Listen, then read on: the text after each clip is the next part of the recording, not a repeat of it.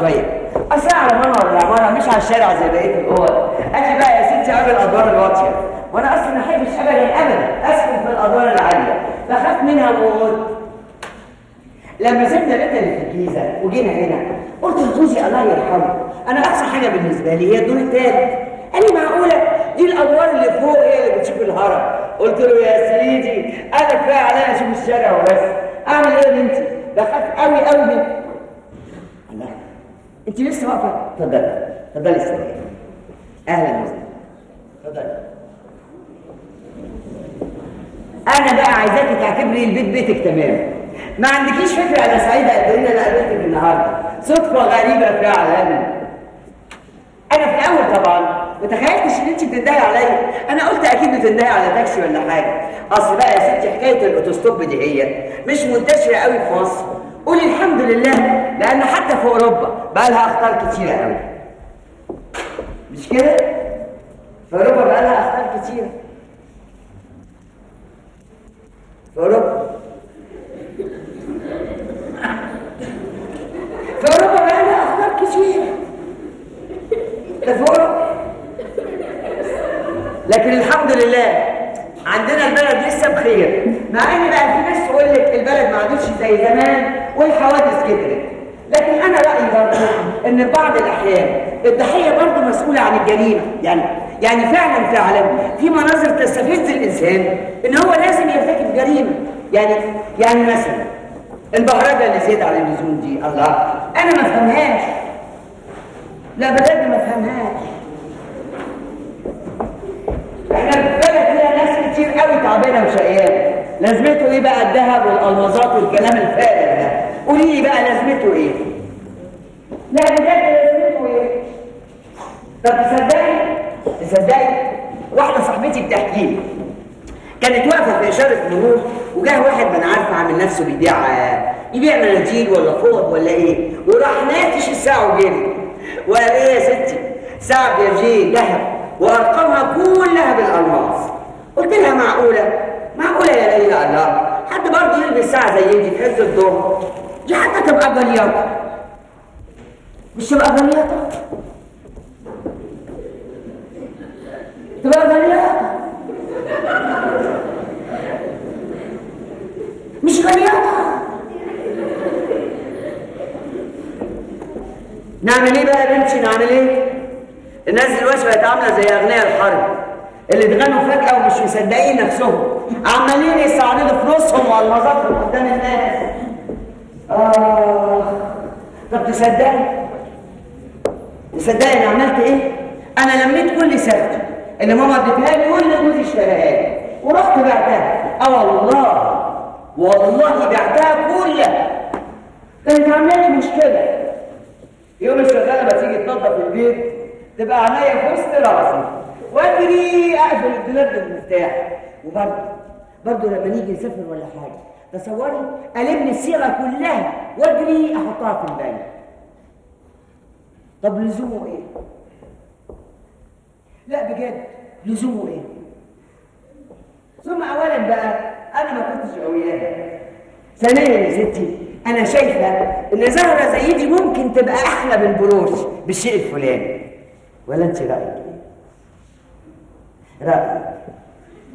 مفيش. وبيني وبينك بقى؟ الفلوس نفعتني حاجات كتير قوي. ما تخافيش يا بنتي احطها لك لما جوزي مات الله يرحمه كانت أكبر واحدة في ولادي هي نرجس بنتي. اياميها كده كان عندها يجي يجي ست سنين وأحمد خمسة وياسمين ثلاثة ياه! الحمل كان تقيل عليا قوي.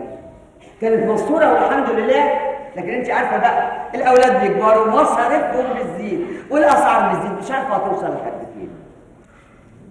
هي الأسعار هتوصل لحد فين؟ الأسعار. وزي ما حكيت لك أول ما دخلت يعني زي ما حكيت لك لميت صيغتي كلها واشتريت بفلوسها كلها شهادات استثمار. كنت بصرف من إيرادها. لكن للأسف ابتديت أبيع الشهادات دي واحدة ورا الثانية علشان مصاريف أحلى. ساعة أقول لو كان جوزي عاش لغاية الأولاد ما يكبروا شوية.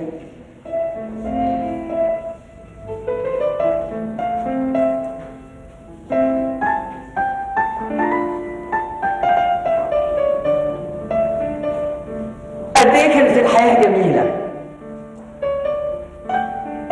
كان موجود. والنجاح كان موجود. الحلم. الحلم برضه كان موجود. بس للأسف راح. اتخطف. وأنا أنا من ساعتها بطلت ألعب على البيانو خالص. مش عارفة.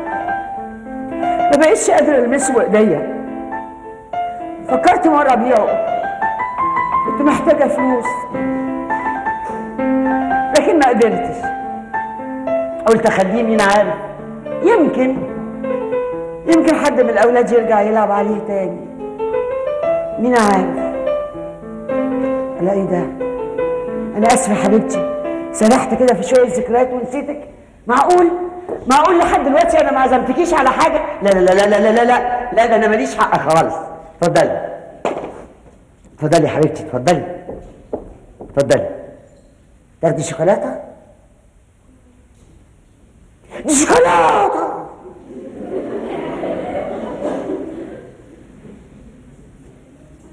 الله. هي ال هي الشوكولاته حرام ولا حاجة؟ حرام. لك شاي؟ حرام. أجيب لك حاجة ساعة. لا لا لا لا لا لا, لا حاجة ساعة. دي بقى اللي أكيد حرام. والله والله بتفكريني بنرجس بنتي. كانت ما تحبش تعمل إلا الصح. لما جوزها اتنقل السعودية كل أصحابها قالوا لها إيه اللي هيسفرك السعودية؟ ده انت مالكيش قرايب ولا معارف ولا حد. إيه يا بنتي اللي هيغربك؟ قالت لهم ابدا ابدا. ما دام ده مكان عمل جوزي لازم أكون معاه. نعمل إيه بقى يا بنتي؟ نعمل إيه للأسف؟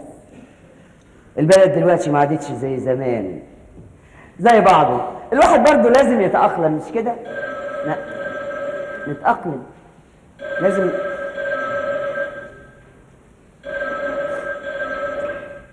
ألو؟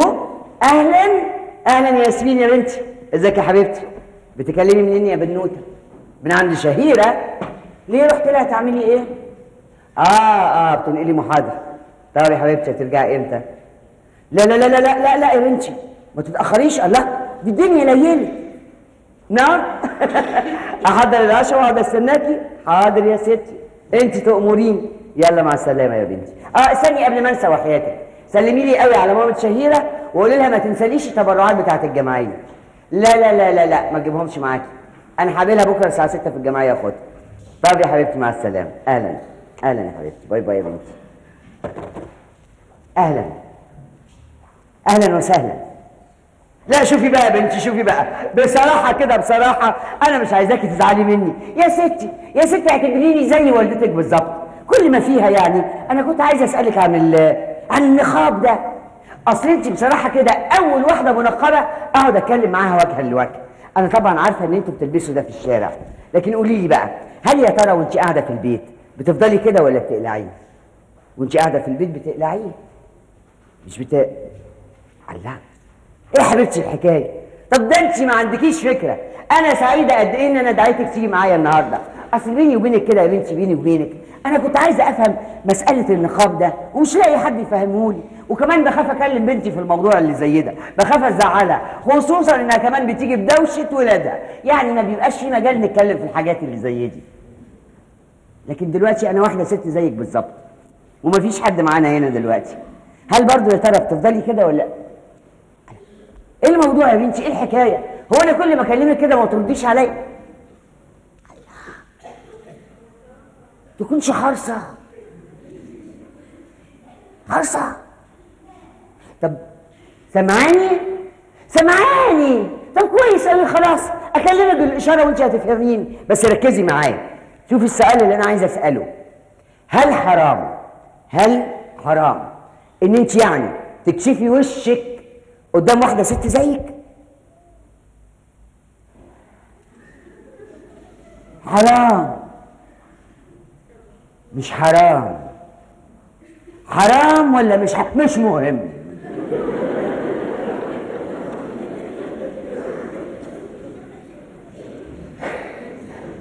إيه الحكاية يا بنتي؟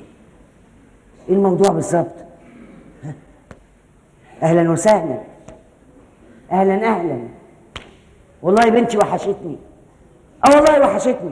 تعرفي حضرتك بنتي بقى لها قد إيه دلوقتي عايشة في السعودية؟ بقى لها ثلاث سنين. ثلاث سنين عايشة في السعودية.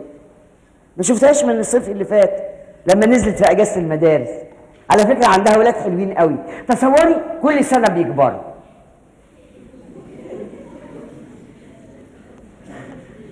ولادها. ولادها بيكبر. بس على فكرة أنا سعيدة إن أنا قابلتك النهارده. كأني بالظبط قابلت بني.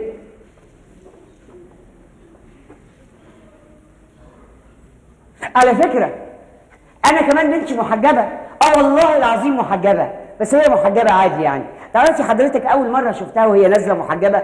بيني وبينك بيني وبينك كده اهوت أنا اتخذت شوية. لكن طبعا قلت في عقل بالي كل جيل وله ظروفه. آه طبعا كل جيل وله ظروفه. المهم بس الإنسان يتفهم الآخرين وأنا طبعا متفهمة. بلاش. الموضوع. إيه الحكاية يا حبيبتي. هو أنا أقعد أتكلم كده اهوت وأنت ما ترديش عليا. طب يا بنتي يا بنتي لما قعدت أكلمك في العربية وانت تردي عليا بالإشارة أنا قلت أكيد أكيد عشان معنا السواق وده راجل غريب وأنا عارفة ومتأكدة إن أنتوا لا يمكن ابدا تطلعوا صدق قدام راجل غريب لكن قولي لي بقى هل حقيقي يعني ما يصحش كده إن انت تطلعي صوتك قدام واحدة ست زيك مين اللي بره؟ يا لا يا حبيبتي ما تخافيش ده بابا صحي عن إذنك. لحظة واحدة. الله إيه يا بنتي الله إيه؟ في إيه إيه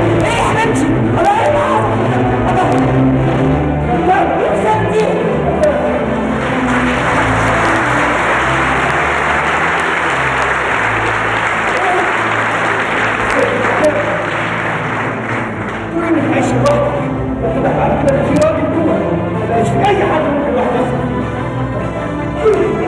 إيه اللي حصل؟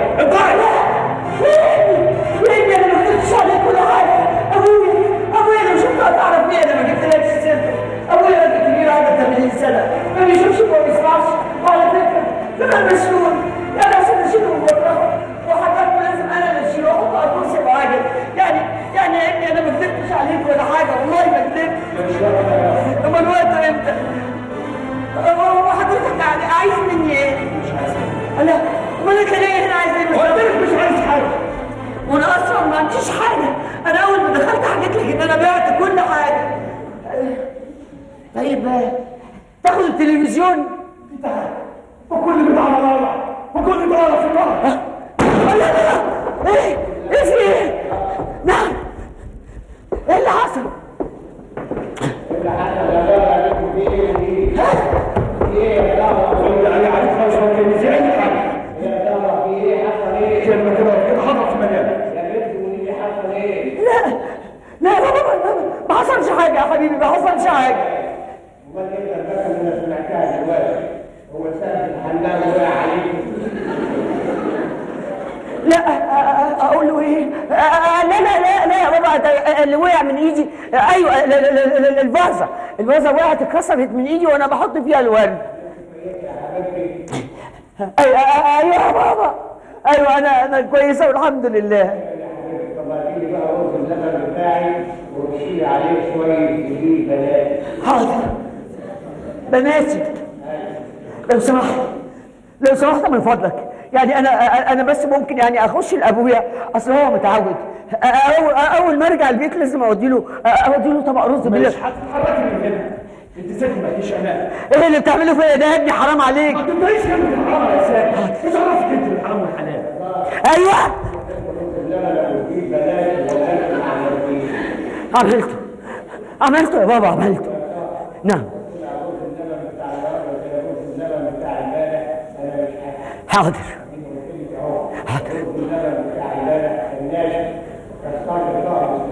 غير شك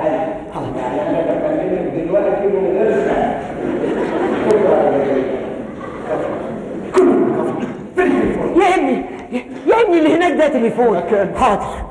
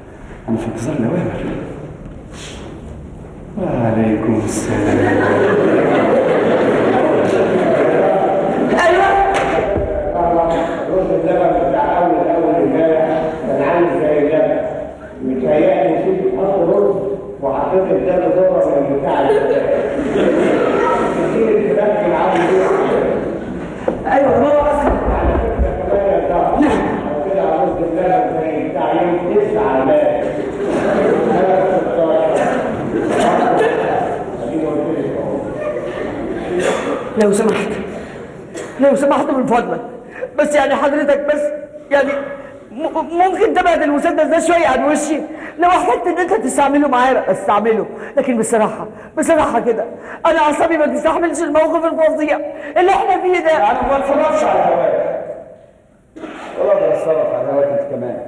أنا عندي أوامر بنفذها. يعني هي الأوامر قالت لك؟ تلعبني بالشكل ده بدون أي ذنب أنا جنيته. أنا مش فاهم أقول لك إيه. أخي. طيب يا ابني على الأقل على الأقل قول لي إيه المطلوب مني وأنا انفذه إيه المطلوب؟ أنا نفسي لسه ما أعرفش. نعم. ما تعرفش امال إيه اللي بتعمله ده؟ قلت لك بنفذ الاوامر بتنفذ اوامر ما تعرفش المطلوب منها إيه؟ هي الأوامر لما بتوصل في جيش الكفر بتاعته لفرقه ولا كتيبة؟ ان هي تقتحم الموقع وتنفذ عملية. لازم الأول أعضاء الكتيبة يطلبوا صورة من خطه العملية. قبل ما ينفذوها. الأوامر اوامر أيوه. الكلام ده في الجيش في الحرب. وإحنا لا في حالة حرب ولا أنت في الجيش. خلاص يا ابني في جيش حاضر. بس الفرق بين الجيش بتاعنا والجيش بتاعكم. إن الجيش بتاعكم اتعمل عشان يحمي الحكام ويذل الناس. الجيش اللي أنا فيه. اتعمل لاعلاء كلمة الحق. للحرب اللي بنخوضها ضد هذا المجتمع الكافر. الله! هو أنتوا كفرتونا كلنا خلاص ولا إيه؟ أيوه! أنا أنا أنا, أنا موجودة هنا يا بابا موجودة هنا. بعمل إيه عندي قولي له أي حاجة. أي حاجة؟ زرية. لا يا بابا أيوه أيوه يا بابا أنا أنا بجيب فازه بجيب فازه ثانية بدل اللي كسرت علشان علشان أرجع أحط فيها الورد تاني. معلش معلش يا حبيبي. دقيقه واحدة وجاية لك حالا. لا. لا يا حبيبي. انت عمرك في حياتك ما تعبتني معاك ابدا. حاضر. دلوقتي بقى من غير كذب. قولي لي أنت مين؟ ومين عايش معاكي هنا؟ ومين منتظر وصوله إمتى؟ حاضر. ولو صدر على مساحة أي كلمة مش هيحصل لك كويس. حاضر. انت حاضر. أنا هقول لك كل اللي عايزه. بس لو سمحت ابعد المسدس ده عن وشي عشان أقدر أكلمك. أول حاجة أول حاجة أنا اسمي أنا اسمي زهرة الشرقاوي. على فكرة أنا ممكن أجيب لك البطاقة مش بالشنطه عايز بطاقة. مين جوزك؟ نعم. مين جوزك؟ ال- ال- ال- المرحوم علي صفوت ده كان بيشتغل فين؟ ده كان كبير المهندسين المصريين في سد العالي. مات. مات دلوقتي بقى له أكتر من عشرين سنة. مات في مكتبه في أسوان. مكتبه اللي ما كانش بيسيبه لا ليل ولا نهار. وسابنا الليس واللي مسواش يتحكم فينا. وانت بتشتغلي إيه؟ سمعك في التليفون عمالة تقولي تبرعات وجمعية. أيوه يا ابني أصل أنا عضو مؤسس لجمعية الجزام ورئيستها دلوقتي بقالي 25 سنة. وبتعمل إيه بقى الجمعية دي؟ نعم. جمعية الجزام. جمعية الجزام يعني هتعمل إيه؟ معرض للجزام لا لا لا لا لا لا لا. لا إحنا إحنا إحنا إحنا بنلم تبرعات للمرضى. واشمعنى بقى مرضى الجزام؟ ما في ناس كتير قوي محتاجة. أيوه يا ابني بس مرض الجزام ده مرض ملوش اي علاج. والمرضى ناس كتير قوي بتخاف تقرب منهم فما بيلاقوش الرعاية الكافية. فاحنا يعني بنعمل لهم مشاريع صغيرة يتكسبوا منها علشان يقدروا يصرفوا على أسرهم. وليه التبرعات دي ما تروحش للجامع؟ يوزعها بالعدل على الناس بدل جمعيتكم الجامع؟ طب الجامع ماله وما مرضى في جزام مجتمعكم كافر. أيوه. على الجامع نعمل كل حاجة. حاضر يعمل كل حاجة حاضر. ومين فيها بقى الجمعيه دي؟ كلهم ستات زي برضه كده؟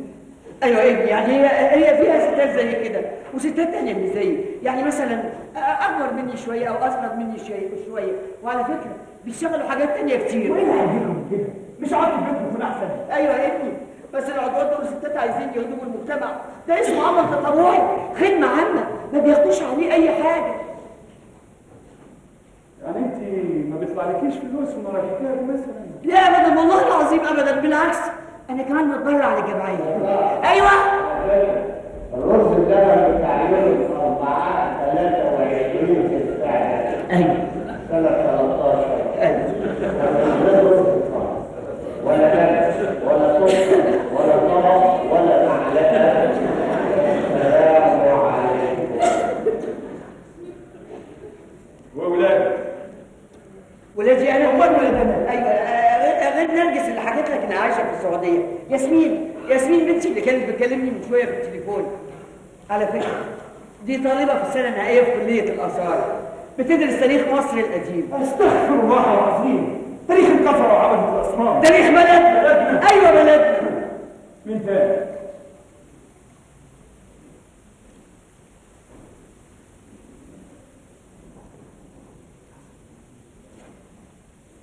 É bonito.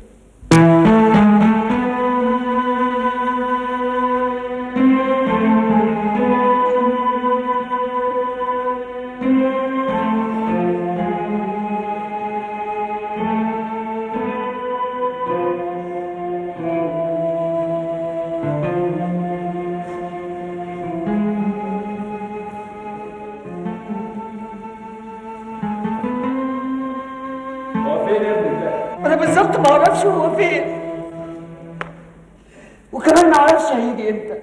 لكن آه، آه، لكن كل اللي أقدر أقوله لك يعني إن إن هو إن هو في طولك كده وعنده 25 سنة. واسمه أحمد. هو أنت اسمك إيه؟ اسمي محمد. أهلا يا محمد. لا بلاش بلاش أنا آسف. بس أنا متهيألي متهيألي يعني أحمد ابني أكبر منك شوية. أنا كمان عندي 25 سنة. والله. ما يبانش عليك.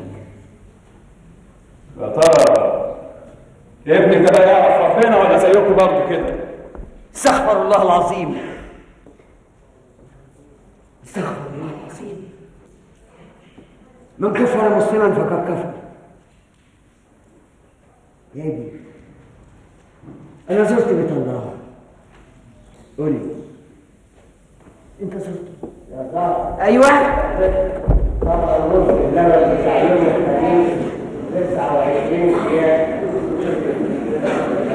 ما كانش عليه سنين ده كان زيتون أسود زيتون أسود؟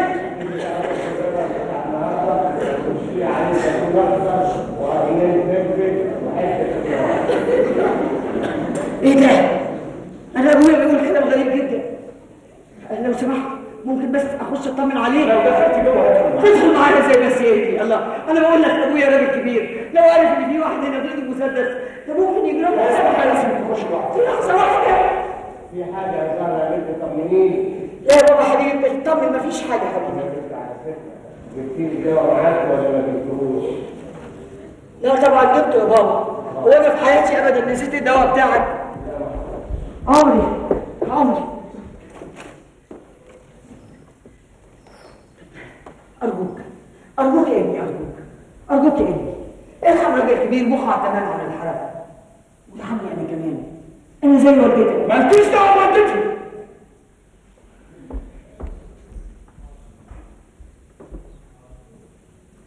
طيب طيب يا ابني. خلاص ماليش دعوة بيها. بس أنا برجوك. أنا هخش أدي لأبويا الدواء وأطمن عليه وأرجع تاني. أصل أبويا لو ما خدش الدواء في ميعاده ممكن تحصل له كريزه وحشة قوي أوعدك أوعدك يا ابني. أنا مش هتأخر جوه أكتر من ثلاث دقايق. ثلاث دقايق بس. أوعدك يا ابني. مكانك. مكانك. أيوه. حذروني برضه انك تحاول تستعطفيني ارجعي ارجعي أيوه. طيب. طب وهي العاطفه حرام يا ابني انت انسان. واكيد عندك عاطفة. وتقدر تقدر مخ في راجل كبير مخ على التمام عن الحركة. واحتاجني بكل حاجة. أنا هديله دواء وهرجع تاني. والله والله العظيم أنا هرجع زي ما أنا كده. لا. أنا برجوك إيه؟ ما تتعبيش نفسك. يا ابني أنا ما فيش فايده طب وبعدين؟ أيوه. طب أقول لك إيه الشقة كلها تحت امرك خد منها اللي أنت عايزه. أنا مش هقول لك إيه على أي حاجة. شوف أنا حرام يا ست أنت. ما أنت جاي هنا عايز. قلت لك بنفذ الاوامر مين اللي داخل الاوان الشغل. عايزين من إيه اللي داخل الاوان في سؤال قلت لك معرفش وأنت هتعرف. إيش حتى إيش معاك في الموضوع. أيوه. أيوه يا ماما لحظة واحدة. الجو ده تقول امبارح كان طعمه النار سهلت أنا وحطيته للقاطع قعدت تتحاسب وعجبها تجيب بقى الدواء بتاع النهارده عشان القطه واقفه مستنيه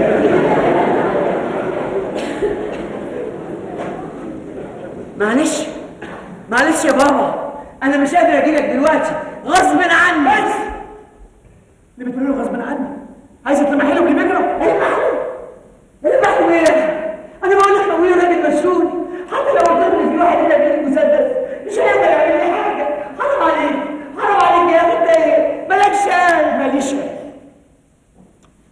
ما- مالكش اخوات ولا ليا اخوات مالكش شعب ابويا كافر زي امي مالكش ام امي عمري ما شفتها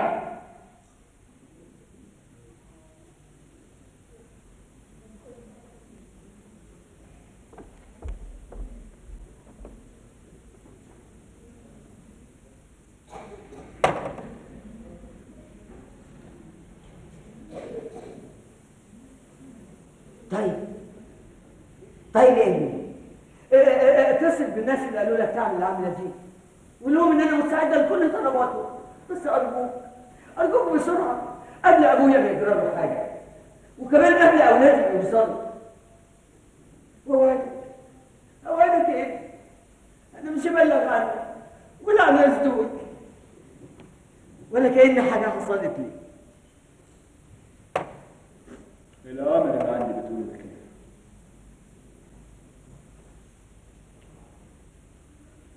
الأول اللي عندك بتقول إيه؟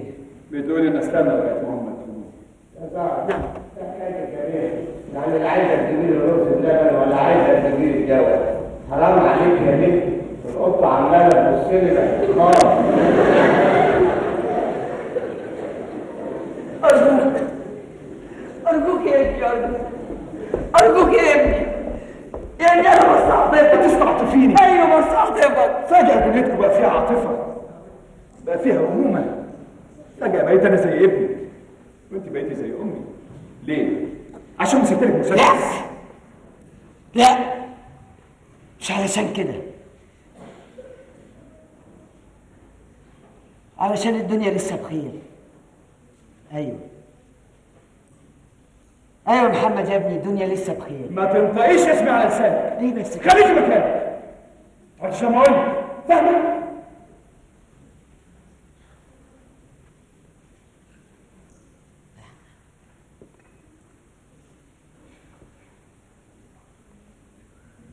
هو هو أنت تعبان من إيه بالظبط؟ مش تعبان أنت اللي تعبانين فسدانين مجتمعكم ده كله فسدان المجتمع بتاعنا دوت كل رغم المشاكل اللي فيه كلها رغم كل المشاكل اللي فيه لسه برضه في خير وجمال. أكتر من مجتمعات تانية كتير يا إبني. لكن أنت بقى أنت اذا كنت مش شايف غير القبح والفساد. يبقى أكيد أكيد أنت عندك مشكلة. أنت تعبان من حاجة. ياه! ياه! أنتوا جيل غريب جدا. قافلين على نفسكم الباب بالضبة والمفتاح. وبعد كده تقعدوا تشتكوا من قلة العطف والحنان. يا إبني. يا ابني انسى الموقف الفظيع اللي إحنا فيه ده. انساه. وقول لي. انت تعبان من إيه بالظبط؟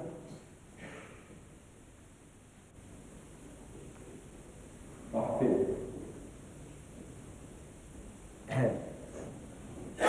لا ابدا أنا أنا بس كنت جاي اقعد جنبك لا. لا خليك مكانك معلش. أنا اصلي أنا عايز أتكلم معاك شوية يا ابني افتح لي قلبك. اتكلم معايا. قول لي هو أنتوا إيه مشكلتكم بالظبط؟ ارجع مكانك ارجع مكانك معلش. أنا كمان أولادي في سني. علشان كده هو الأم ممكن تستحمل في سبيل أنا ماليش أم.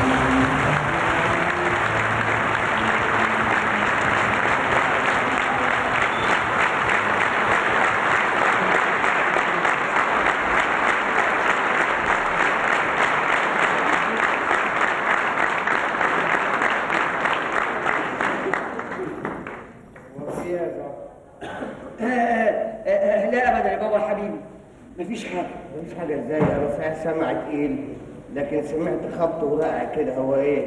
الحرب العالمية قامت؟ لا لا لا, لا يا بابا ما, ما, ما, ما حصلش حاجة. طب حصل إيه؟ حصل انقلاب في البلد. البلد بخير يا بابا لا انقلاب ولا حاجة. طيب الحمد لله. أمال إيه ال آه هم الانجليز رجعوا مصر تاني؟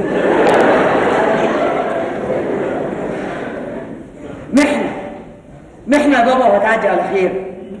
وكل حاجة هترجع زي ما كانت إن شاء الله. صدقتني بقى لما قلت لكم دنيتكم ملهاش أمان. واحدة ست زيك تبقى ست محترمة. لكن في الأول يتضح إنها كذابة. وبعد كده يتضح إنها مخدعه عايزه تعملي إيه؟ عايزه بلغ البوليس؟ لا والله إن شاء الله. كلكم كفره زي بعض. فاسد انت اللي فاسد مش المجتمع. انت سيء ظن بالناس. عشان كده ما بتشوفش غير الفساد عمرك عمرك في حياتك ما هتشوف أي جمال في الدنيا. زهرة يا بنتي أنت بخير؟ أيوه بابا أنا بخير والحمد لله. أمال بتكلمي مين؟ مين اللي معانا هنا؟ اسمه محمد. مين؟ أحمد؟ أحمد ابنك؟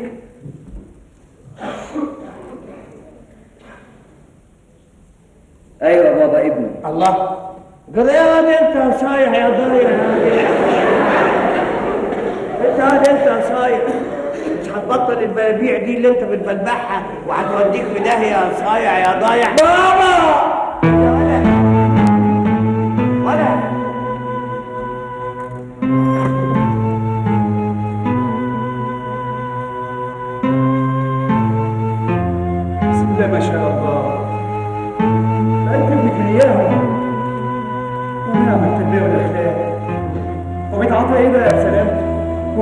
كوكايين ولا هيروين الدنيا فعلا لسه فيها خير وجمال يا هاني هم دول الخير والجمال اللي بتتكلمي عنهم. طبعا معهم فلوس وقله التربية والكفر والحال هيجي منهم إيه؟ اخرس قطع لسانك. إياه. إيه حلول على ابني إنه كافر؟ أيوه. ابني عنده مشكلة. زي ما أنت بالظبط عندك مشكلة. لكن اياك اياك تقول عليه كافر لا هو ولا على أي حد في البيت ده إنه كافر. ما تنسيش إنك مربوطه بالجنزير وإن أنا معايا مسدس. أنا مش خايفة منك. ولا من المسدس بتاعك. ولا من الجنزير اللي أنت رميتني بيه ده. أنا في الأول كنت مشفقة على أبويا من الصدمة. وأنت كنت صعبان عليا. لكن دلوقتي خلاص. ماليش حاجة أخاف عليها أبويا هو افتكر إن أنت أحمد ابني. لكن الشفقة اللي في قلبي زادت عليك عن الأول. إيه اللي أنت بتعمله ده؟ إيه ده؟ ده أنت كنت في لحظة تتحول لمجرم لا قاتل بترفع عليا المسدس. طب قول لي الكلام ده يرضي ربنا؟ يرضي ربنا إنك ترفع المسدس على واحدة ست. مسدس؟ مسدس إيه واد؟ يا صايع إيه؟ أيوه يا بابا حضرته واقف وبيهددني بالمسدس. أقوم لك. لا معلش يا بابا. لا لا لا أقوم. لا بلاش. لا لا لا تعالي شيليني وأنا أقوم. عليك وعلى تربيتك قليل الأدب فو. هو هو واقف ليه؟ خلاص يا بابا عشان خاطري خلاص انتهى إيه الموضوع يا ابني دي أمك أمك الست دي مش أمي مش أمي بقول. والله العظيم من كل ذنب عظيم حق عليك انت يا زهرة انت اللي بتديله مصروف يروح يشتري بيه القنابل والطيارات والمدافع. يا ابني أنا لما كنت في سنك كان مصروفي في اليوم اتنين مليم. مليم منهم أتغدى بيه وأحلي وأتفسح. المليم التاني أحوشه. فضلت احوش احوش لحد ما بقى معايا 240 مليم. قلت يا واد بقى اتجوز. رحت لأبو العروسة قلت له عاوز في بنتك كام؟ قال لي مش أقل من تسعة مليون هو تسعة مليون كتير طبعا لكن العروسة كانت طويلة. أصل الجواز زمان كان بالمتر. عيب يا ابني دي أمك أنا ما كنتش أتصور ابدا ابدا إن هجي لك الجرأة وتدوس على الزناد لكن الظاهر تقديري ما كانش في محله. مين عارف؟ مين عارف دوست عليه كام مرة قبل كده؟ وقتلت كام إنسان بريء أنا ما قتلتش حد. عمري ما قتلت حد. لأول مرة أستعمل فيها المسدس. والطريقة دي مش هتبقى آخر مرة. شوفوا مين يا زهرة اللي على الباب إذا كان بتاع الزبادي هات منه خمسه اسمع هترد على التليفون عندي ولا كان في أي حاجة. كلمة كده ولا كده انت عارفه اللي بنقول ألو؟ أيوه يا فندم. أيوه النمرة مظبوطة. نعم. حضرتك عايز تكلم محمد عبد الصمد؟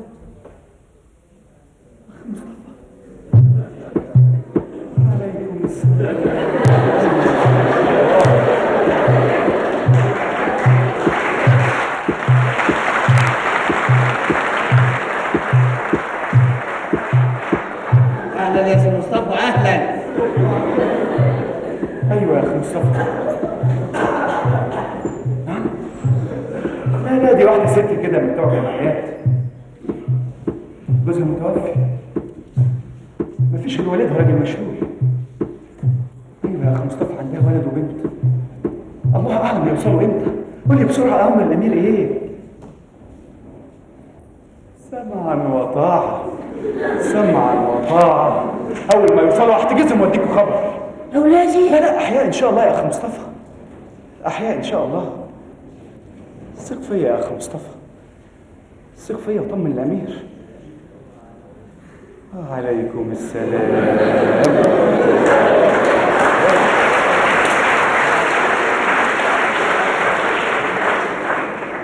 إيه في إيه مش شغلك مش شغلك يا ست انت كلمش والدتك وشكلين أحسن ربنا يسخطك ويخليك معزه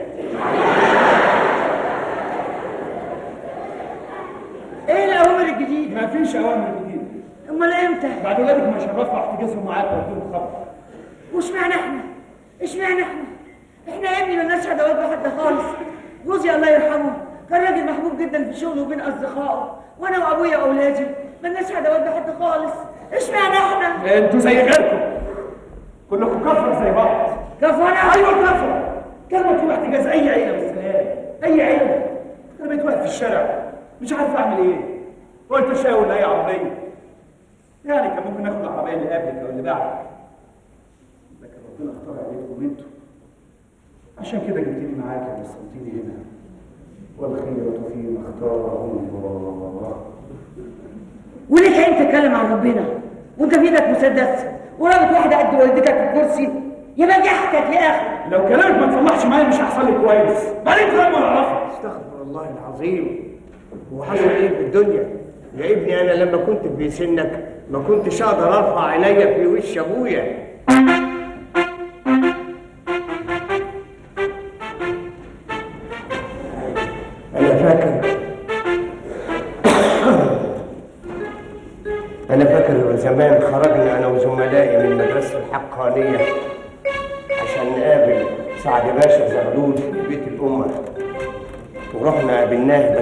اتأخرت يعني ربع ساعة عن ميعاد الغدا تعرف أبوي عمل فيا إيه؟ رنين العلقة اللي هي. لا قدرت أتكلم ولا أفتح بقي ولا أقول له تلت التلاتة كام. إيه اللي حصل دلوقتي؟ الأولاد بيبجحوا في والديهم وعاوزين يموتوهم. والفلاحين بيبوقوا في الأعيان. والخدامين في البيوت بيردوا على أصحاب البيوت. محدش عارف مكانه فين. يا يا أخي حرام عليك بقى حرام عليك. شيل المسدس ده من وشي الله. طب انت رميتني في الكرسي يعني بقى قدامك اتنين مقاتلين تقدر تقول لي خايف من إيه تاني أشيله وقت ما احب أشيله. ما يهمكيش منه. ده حتة حشرة وصرصار وقليل الأدب. ما تسيبوش يا بابا قليل الأدب وقليل التربية. أرجوك يا بابا عشان خاطري عشان خاطري ما تشتموش. بسم الله الرحمن الرحيم. قل لن يصيبنا إلا ما كتب الله لنا. مش هيقدر يصيبك بأي سوء إلا بإذن الله. لا إله إلا الله. يا ابني أنا لما كنت في سنك خرجت أنا وزملائي من مدرسة الحقانية في مظاهرة ضد الإنجليز. البوليس نزل علينا بالرصاص زي المطرة لكن ربنا كان رايد ما تصيبنيش رصاصة واحدة.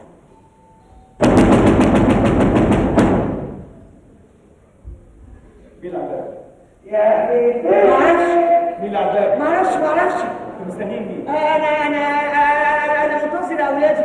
ممكن يوصلوا في أي لحظة. لكن معهمش مفتاح. لا ياسمين بنتي معاها مفتاح بس أحمد ابني ما معهوش مفتاح. يبقى لازم افتح لا اياك اياك تفتح وانت في إيدك بالمسدس ده. اياك تفتح للأولاد وانت في إيدك بالمسدس ده. اياك اسمعي بقى يا ست انت الأمر اللي العيله والأمر لازم تتنفذ انت فاهمة ولا لا؟ أيوه يا ابني. بس بلاش الأولاد. العيلة كلها. طيب. اعتبر العيله كلها أنا وأبويا بس. افرض ما عنديش أولاد. أو حتى كانوا مسافرين. إحنا بنلعب ستين ارجوك يا ابني بلاش. مش عايز مكان. يا ابني حرام عليك.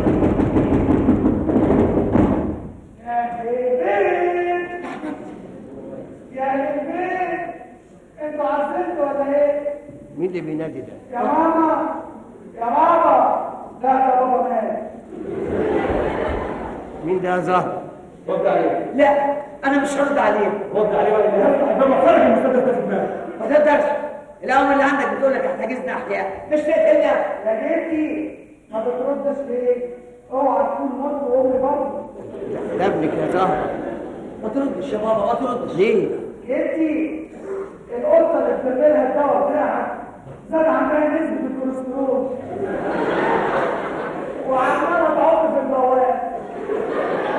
والبنت صايعه ياسمين راحت فين؟ راحت فين ساعات؟ يا جدي رد على ابنك يا يا بابا ما تردش عليه ما تردش ليه؟ جدي اوعى تكون انت راسك خالص يا بابا اصل انت مش عارف إحنا معانا هنا في البيت واحد ارهابي مين؟ واحد جدي يا جدي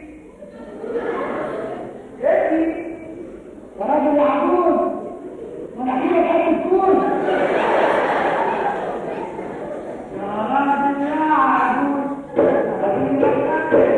قد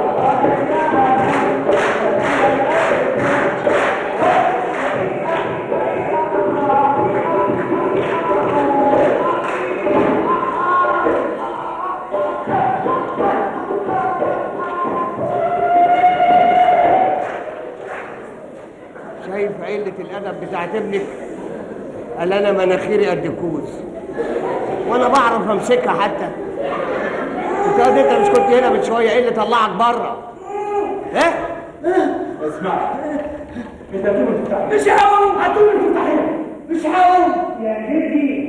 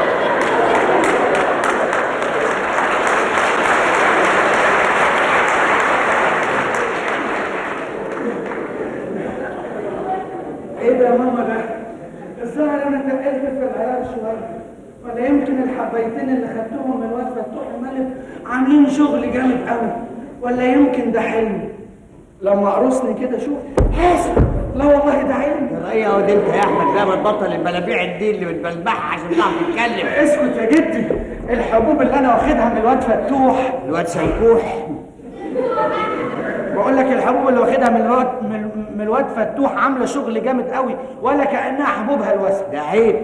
إيه ده؟ أنت بتاخد حبوب بصبصة؟ بصبصت إيه يا جدي ركز معايا شوية. أصل مش هتصدق لو قلت لك اللي أنا شايفه. قال إيه؟ خير اللهم اجعله خير زي ما يكون كده واحد إرهابي كبس عليكم في الشقة. آه والله إرهابي من بتوع الجامعات بس انت شكلك ما تديش جامعات. انت صغير. انت بالكتير معاهد ارهابيه حلو. لا وهي جدي لابس جلابية وسروال وجزمة كاوتش وحاطط في ايده مسدس. آه والله يا ماما. إيه ده إيه ده هو مسلسل ماما بالجنازير. عارف إيه يا جدي؟ عشان ماما ما بترضاش تديني فلوس. يقول لها ادي الولد أحمد فلوس ولا هتخ في الغليان. قصدي هتخ في الغسالة. حاجة بتتقلب يا ماما. لحظة واحدة أنا أنا هتفاهم معاك أنا لحظة. بقول لك يا أخ نزل المسدس اللي في إيدك ده. يا ولا نزل يا ولا. بقول لك إيه ده؟ مسدس يويو. بالهداوه أنا هجيب منها الفلوس. لحظة واحدة ماما ماما هات الفلوس لحسن. أنا عارفة ده متهور يا حبيبتي المسدس اللي في إيده ده بجد وحقيقي. يعني لو طلقة طلعت كده ولا كده هتبقى طلقة بالثلاثه بس هتبقى طلقة عند المأذون. انت انت في طلقة. لحظة واحدة. أنا أنا مش سامع حاجة. قال إيه؟ أيوة. خير اللهم اجعله خير. زي ما يكون كده واحد إرهابجي واحد كبابجي. كبابجي يا جدي ما تركز معايا. بقول لك واحد إرهابجي مش بتاع كفتة؟ كفته انت جعان ولا إيه؟ لحظة. بقول لك يا أخ تعالى معايا. عشان جدي راجل كبير ما بيشوفش. لازم يجس المسدس اللي في إيدك عشان يخاف. هنعمل إيه؟ هم الكبار كده. تعال. ه- هات إيدك. هات إيدك أنت كمان. قول ورايا. زوجتك نفسي. يا ولد يا قليل ادب اخصى عليك وعلى تربيتك مش عيب؟ عاوز تجوزني واحدة ما شفتهاش؟ إيه ده يا جدي ده وعايز تشوف فيها إيه؟ شوفها طويلة قصيرة تخينة رفيعة. طب وأنت نفسك في إيه؟ أنت نفسك في إيه؟ كلهم. آه يا جدي يا بتاع الجوازات الجامدة انت أخ اخ منكم لما تعوزوا تتجوزوا بتاخدوا اليوم كله نوم.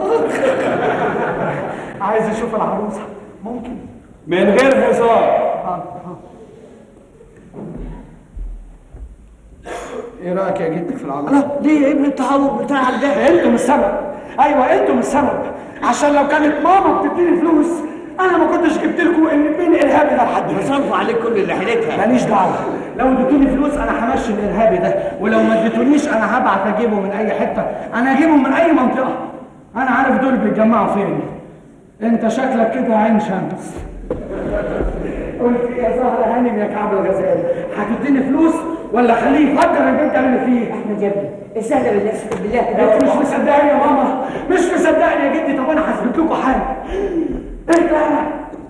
ده إيه ده شايفين؟ وادي كان يصير تانية كمان.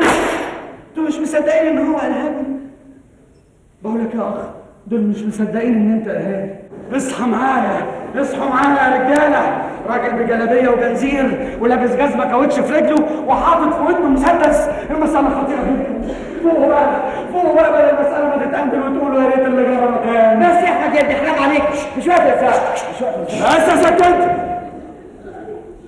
ما تشخطيش فيه خالص. مش شايفة حالته.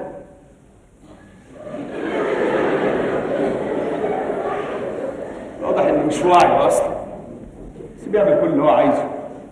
سيبيه يرقص يتنطط. سيبيه يعمل اللي هو عايزه. يا حبيبي حبيبي. أول مرة واحد في البيت ده يقف تصفي. يسلم في أمك وخالتك وعيلتك. الواد الواد فتوح الملك عمل معايا النهارده واجب مية مية. جات له حبوب هلوسة من بتاعة بره. حبوب تاخد حباية بس ما تبلعهاش مصر. كده اسمع كلامي. تاخد حباية بعد ربع ساعة تبقى الكبير بتاعك.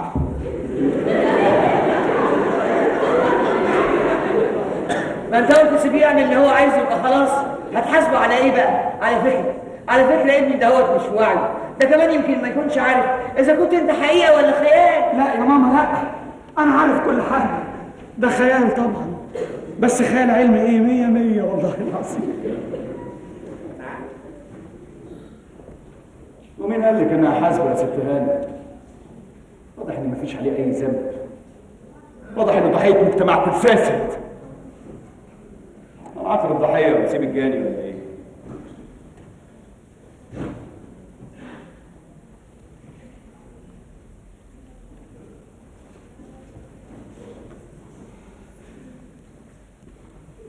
أنا فعلا ضحية والله العظيم ضحية أنا ضحية كاريوك. حلوة بقى هي ما تقولش عليها حاجة. دي آخر سلطنة. يعني يعني مش معقولة هنقضي الليلة كلها مسدسات. لازم شوية كده وشوية ده؟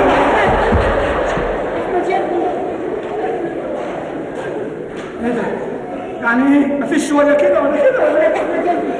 اتكلم معاه جد يا حبيبي عشان خاطر. هنقضي مسدسات معلش اتكلموا جد ماما أنا دماغي متكلمة معلش يا ابني معلش.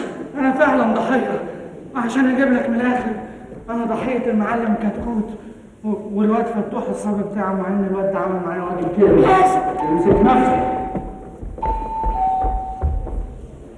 مين؟ يعني يعني هو أنا المفروض أعرف مين ورا الباب وأنا مسترسله هنا في الكرسي. انت مش بتقولي بنتك مع المفتاح. أيوه معاه مفتاح إيه رميل الباب ده؟ أنا ما هو أنا الوحيد اللي معيش مفتاح. أنا الوحيد اللي بضرب الجرس يعني البيت. يا واد يا أحمد انت أنت مش جيت مرتين قبل كده؟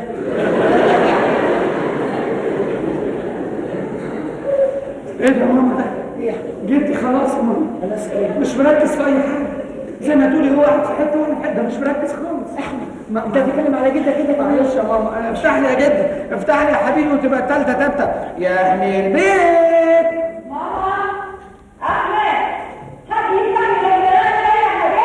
ده صوت ياسمين بنتك يا زهرة. أيوه دي ياسمين أختي. التوأم بتاعي بينا وبين بعض ثلاث سنين. أرجوك أرجوك يا ابني أرجوك. دي بنت. انت مش هتستحمل البهدله اللي انت عاملها فيا دي ارجوك يا ابني خلاص يا ماما أنا هفتح لها استنى عندك يا احمد ماما من فضلك سيبيني لازم افتح لها افتح يا احمد انت فاهم افتح افتح أختك يا احمد ياسمين ياسمين ياسمين كنت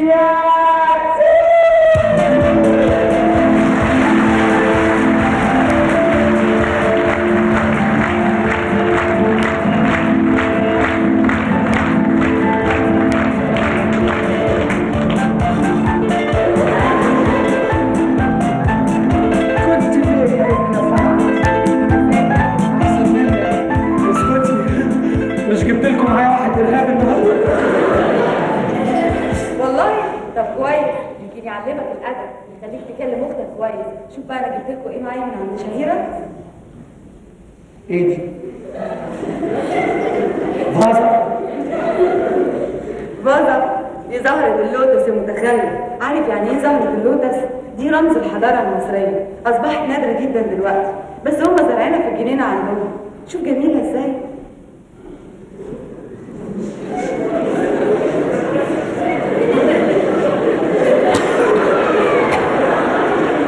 آه فعلا دي شبه رمز الحضارة دي شبه الهرم امال فين الطريق الدائري اللي دايما بيختلفوا عليه جيتي شايف رمز الحضارة إيه يا ابني دي طفاية سجاير.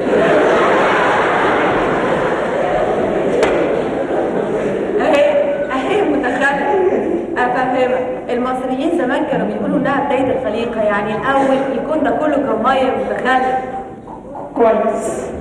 وبعدين طلعت عليه حتة أرض صغيرة يا متخلف كويس. وبعدين طلعت عليها زهرة اللوتس يا إيه؟ يا مستر طيب. مهند. ازيك يا جدو عامل إيه؟ مين؟ أنا ياسمين طيب امال فين ماما؟ نعم ماما هتلاقيها متعلقة في الشماعة اللي في الحمام إيه ده يا جدي؟ نعم إيه ده يا جدي؟ بتسألك بتقول لك فين ماما؟ تقول لها هتلاقيها متعلقة على الشماعة اللي في الحمام يعني لو قالت لك ازيك يا جدي تقول لها على النار في إيه يا جدي؟ من إيه اللي أنا اللي مش فايتة يا جدي؟ كل شوية إيه بتصلح معانا الحاجات على انت ليه دايما محسس ان انت قاعد في شرم الشيخ؟ كل شوية إيه إيه إيه إيه اخ منكم لما تعوزوا تسمعوا حاجة اخ يا جدو بقول لك فين ماما؟ ما هنا بنت هتروح فين؟ ماما يا ماما ماما إيه اللي حصل يا ماما؟ إيه اللي حصل يا أحمد؟ والله يا بنت ما نعرف حاجة لما تعرفي تضربي لي التليفون الصلاة على النبي اشتغلت من بعيد اهي الله أكبر جابت نتيجة جد الله أكبر. إيه؟ مين اللي عمل كده يا ماما؟ أنا. أنا اللي عملت كده. ولو سمحت بقى خليكي جنب والدتك ما تحركيش لما أقول لك اقعدي يا بنتي ما تخافيش يا حبيبتي اقعدي اقعدي يا بنتي اقعدي مين ده يا ماما؟ انت مين؟ انت مين اللي جابك هنا؟ مش قلت لكم جبت لكم واحد إرهابي ما حدش بيثق فيا ابدا. بقول لك إيه؟ مالكش دعوة. دي عيلتي وأنا حر فيها. ولا اخش البس لك الجلابية البيضاء جلابية زي دي وقطعك ده أنا قديم يالا ولا دي كانت كده امبارح بس حليقه عشان عبدت الشيطان يالا اهو.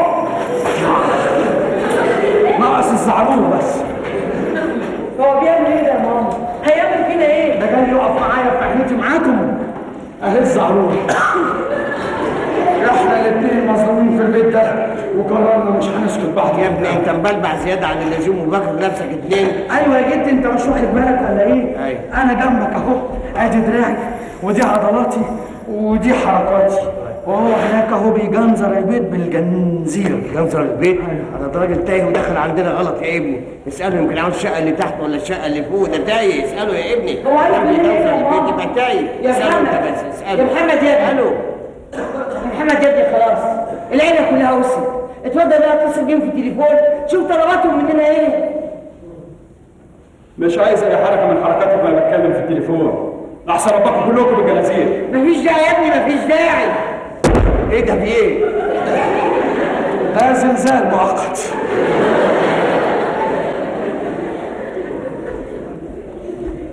زي ما قال لك بالظبط مش عايز ولا حركة من حركاتك. وإلا هصحلقكم كلكم بالفزلين فزلين إيه؟ العين الحمرا إيه؟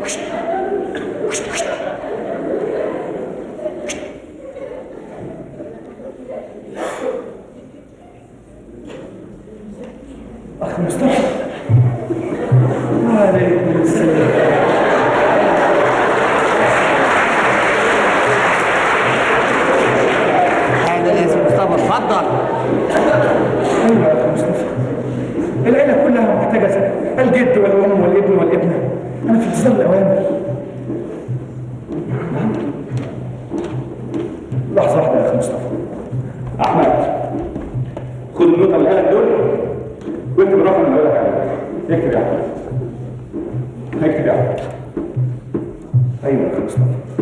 3 9 3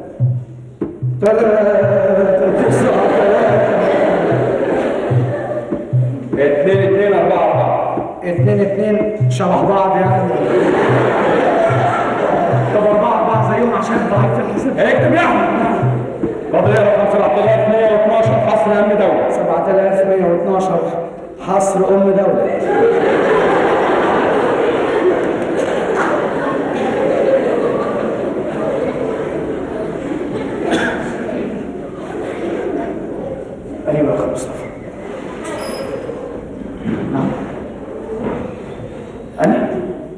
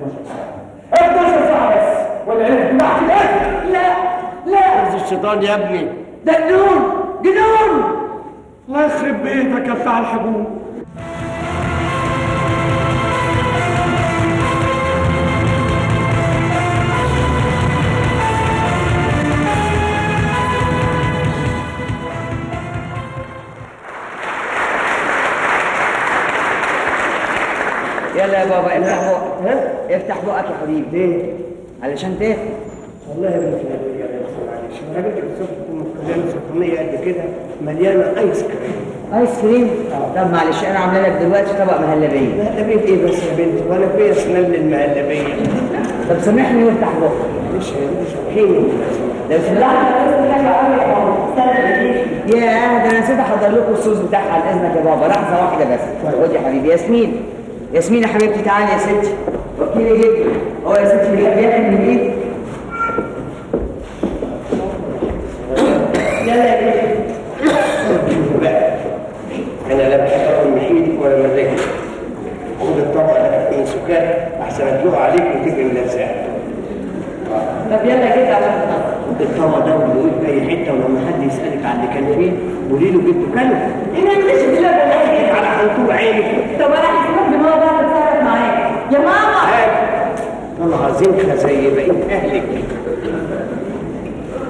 من الواد أحمد.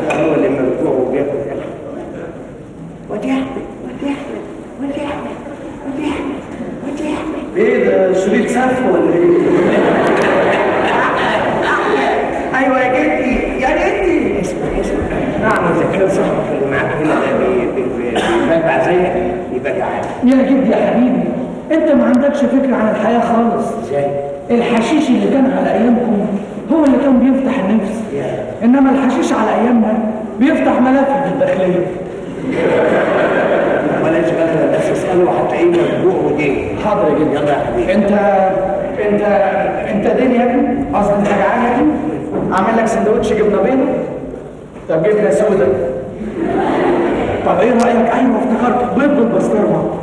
طب بيض باللايسيد بتاع الشعر. أكلة جميلة. مش عاوز اكل مش فايدة. أنا حد الطبق ده واخلص منه؟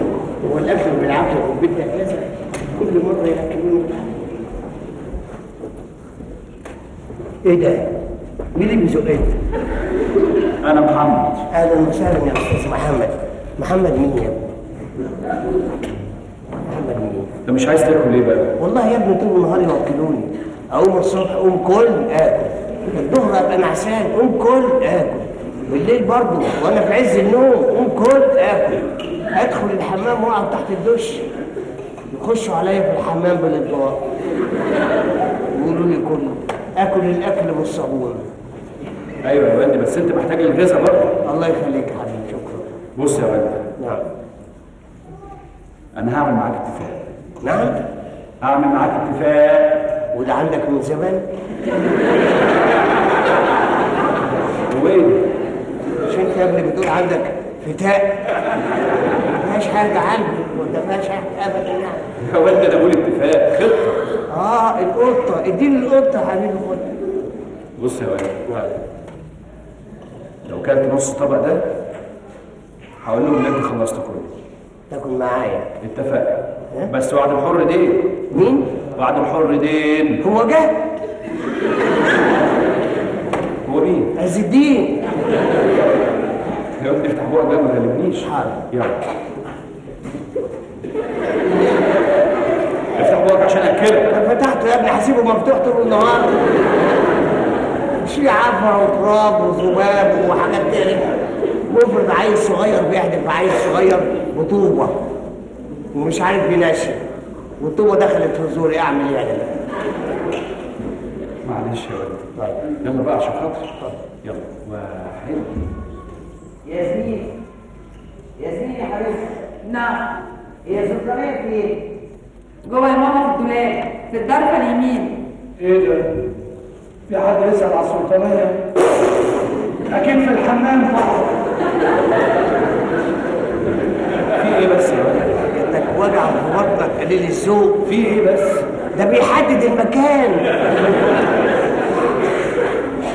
معلش خليك معايا أنا.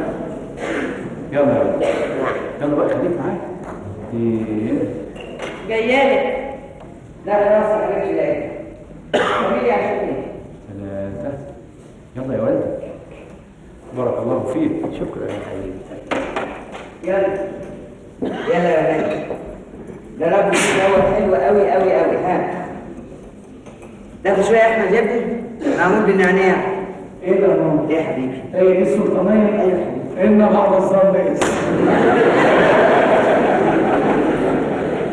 جالك كلام يا جدي؟ دوق بقى يا سيدي. سوس عليه نعناع هو أنت خلصت طبقك يا بابا؟ أنا اكلته من فضل في الطبق لقيته جاع لقيته اتاخرت عليه. لا لا لا لا ده هو اللي كله. نعم.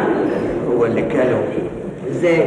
جبنا المعلقة وهو اللي يفتح بقك ويدلقها بقه هو. إزاي كده يا؟ و- وإيه يملى معلقة يحطها في بقه ومعلقة في جيبه؟ تجيبوا ليه؟ يمكن عشان يوديها لعيلته طب معلش هجيب لك تاني لا لا لا لا لا معلش.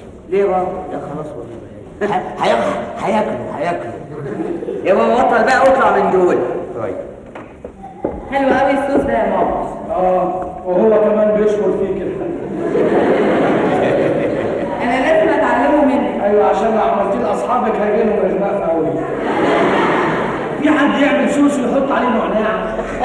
أنتوا بتروحوا للواد فتوح ده طبق معروف والله ولا حتى الواد فتوح الملك ممكن دماغه توصل الفكرة دي سوس عليه نعناع طب إيه رأيكم بقى بكرة باذن الله لو لقيتوا كويسين أنا هعمل لكم مكرونة باللبان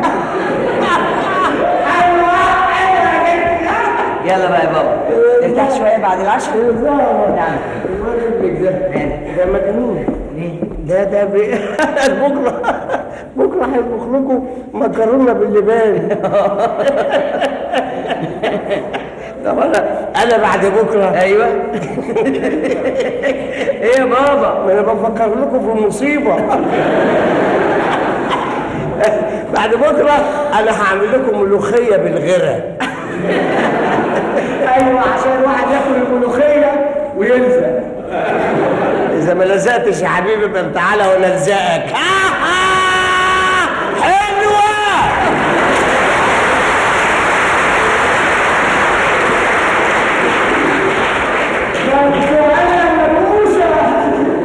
ياسمين ياسمين البنت شاهيناز صاحبتك اللي ساكنة وراكي دي؟ البنت الرفيعة دي اللي شبهك اللي كانت كده دلوقتي بقت كده. إيه رحلت لا اتشنت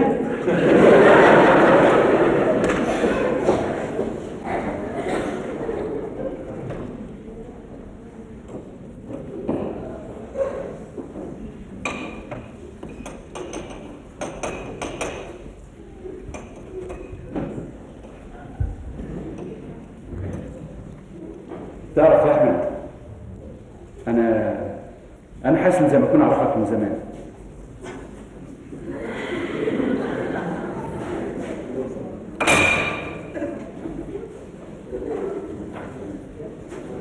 حاسس ان انت شفتني قبل كده يعني شوف يا احمد أنا أنا حاسس ان إحنا زي ما كنا مع بعض في المدرسة أو حتى اتنين شقق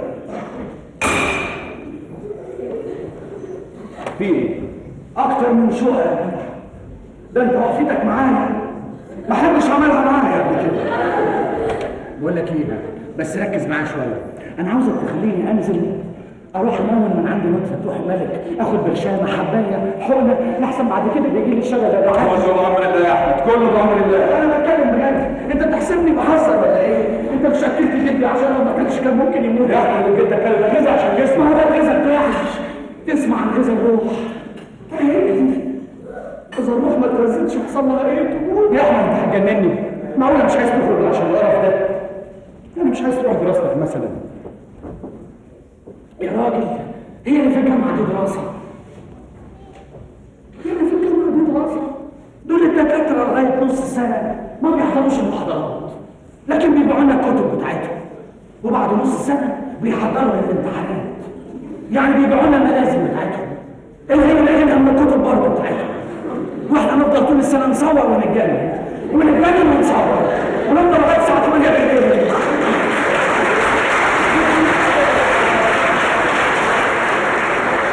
وفي الآخر اهالينا يسرقوا ويصرفوا عليه أنا بقى لا بنجح لا بالكتب ولا بالملازم أنا بنجح بالبرشام حبايه واحدة اخدها احس ان أنا ناجح على طول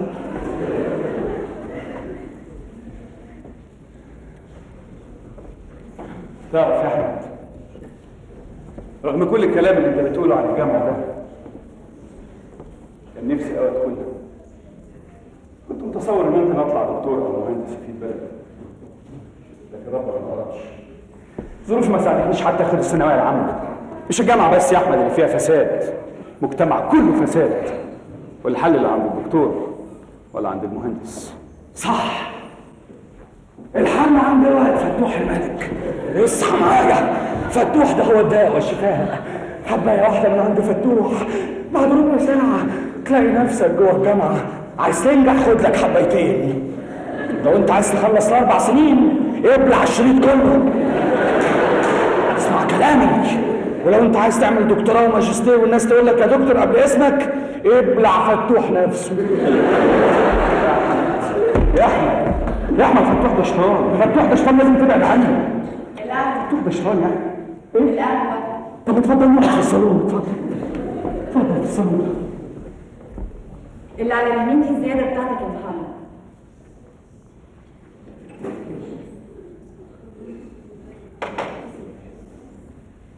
الباقي مظبوط اللي على الشمال.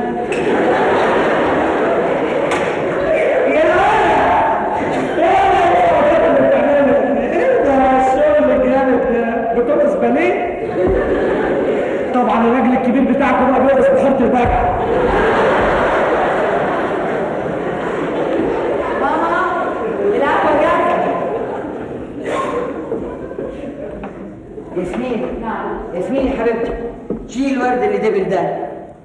وعلى صورة أبوك هو في إيه معمول في البيت؟ ما كل شيء نايم ما أنا من يوم ما اتولدت في البيت ده هو كل شيء نايم ما هو لو كان أبوك عايش كانت حياة كتير قوي اتعدلت في البلد شيك لوحدك. يا ماما حبيبتي أنا مش بتكلم عن البلد. أنا بتكلم عن الذل اللي أنا عايش فيه. ما فيش نزول ما فيش خروج. وفي الآخر ملوخية بالغيرة. أنتوا هتطلعوا بره يا ابني يا ابني يا حبيبي لو كان أبوك عايش كان هيبقى لك بالبلد ياه. أبوك ده كان راجل وطني أصيل. كان سبب نجاحه في شغله إنه كان بيحب بلده مصر. ما كانش مجرد مهندس عظيم ووصي يا ابني لا بالعكس ده كان قائد عظيم مؤمن ببلده وقضيتها. عارف يحرك كل الناس اللي معاه في المشروع. خلاهم يحبوا البلد زي ويؤمنوا بيها. آخ الله يرحمه. إيه ده؟ هو بابا مات ولا إيه بابا الله يرحمه. كان بيتصور إن أنتوا هتطلعوا زيه بنفس الروح الوطنية دي. مش فاكر يا أحمد وأنت عيل صغير وخدك معاه الأسوان وفرجك السد العالي وقال لك ده أعظم مشروع هندسي في العالم. مش فاكر؟ إزاي مش فاكر؟ طب ده حتى ساعتها انت قلت له ان انت عايز لما تكبر تطلع مهندس زيه عشان تبني سد زي هو زي اللي هو بناه. ها؟ قول لي دي كمان مش فاكرها. لا طبعا مش فاكر. كنت وقتها صغير كده وكنت واخد حبايتين بتوع أطفال.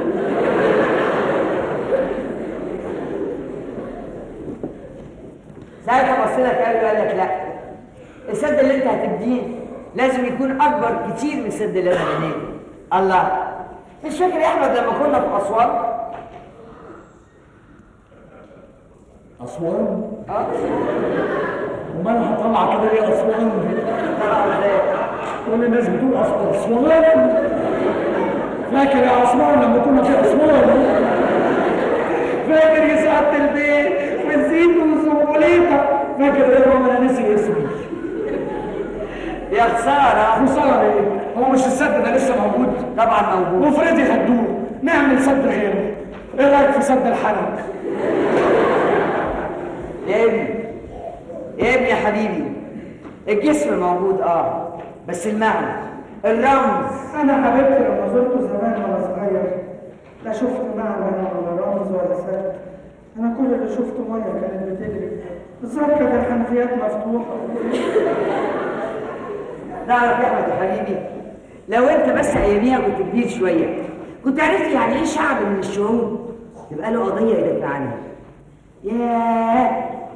ياه ما تتصورش أنا وابوك كنا سعداء قد إيه ان إحنا عشنا العصر ده بص بقى يا ماما يا حبيبتي أنا الحباية اللي واخدها من شوية دي عاملة شغل جامد قوي وبعدين خلاص أنا بقيت زي الفل أنا مش بتكلم على العصر اللي أنتوا فيه. أنا بتكلم على العصر اللي أنا عايش فيه. العصر ده والعصر ده يا احمد الاثنين كفر والحاد استغفر الله العظيم بتستغفروا لمين؟ للشيوعيين الملحدين اللي بنوا السد؟ اللي بنى السد هي الإرادة الوطنية لمصر بصرف النظر عن الخبرة الأجنبية أو التمويل دي كلها كانت مجرد أدوات. زي بالظبط المسدس اللي في إيدك ده. ما هو أداة واللي صنعها أجنبي. والتليفون. التليفون اللي حضرتك عمال تستعمله من الصبح. ما هو برضه أداة واللي صنعه أجنبي. السد رمز للكفر والإلحاد والحبس والسجون. الصبح ما وصل ثلاث مرات من جفاف. اللي عم دول افريقيه تانية مات أهلها من الجوع والعطش السد بنى بالقهر والطغيان انت أنت اللي بتتكلم عن القهر والطغيان. بتهيألي إن حابس عينه تحت تهديد السلاح مش هو ابدا ابدا اللي يتكلم عن القهر والطغيان.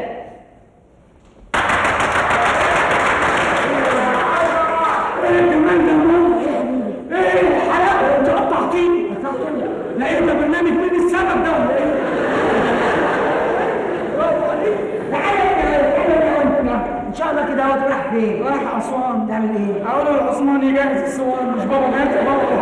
طب يا ولد وريني في جيوبك إيه؟ بابا معلش غير حباية واحدة. أحمد. ماما أحمد. ماما أحمد. ماجدة. ماجدة.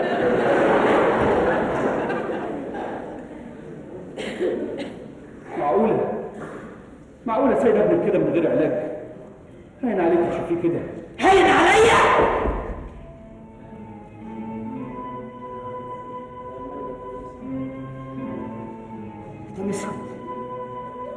اسكت يا محمد يا ابني اسكت حرام عليك اسكت. اسكت يا ابني. ما تفتحش الجرح اللي في قلبي. أنا ما خليتش مستشفى ولا دكتور. أنا بعت كل اللي حيلتي وساعتها كمان ابيع عفش بيتي بس هي وفي الآخر في الآخر تقول لي عين عليا؟ ده ابني فاهم يعني إيه ابني؟ لا استني بلاش أنت. اخت ياسمين. يا أخت ياسمين. رد على التليفون. لو سمحت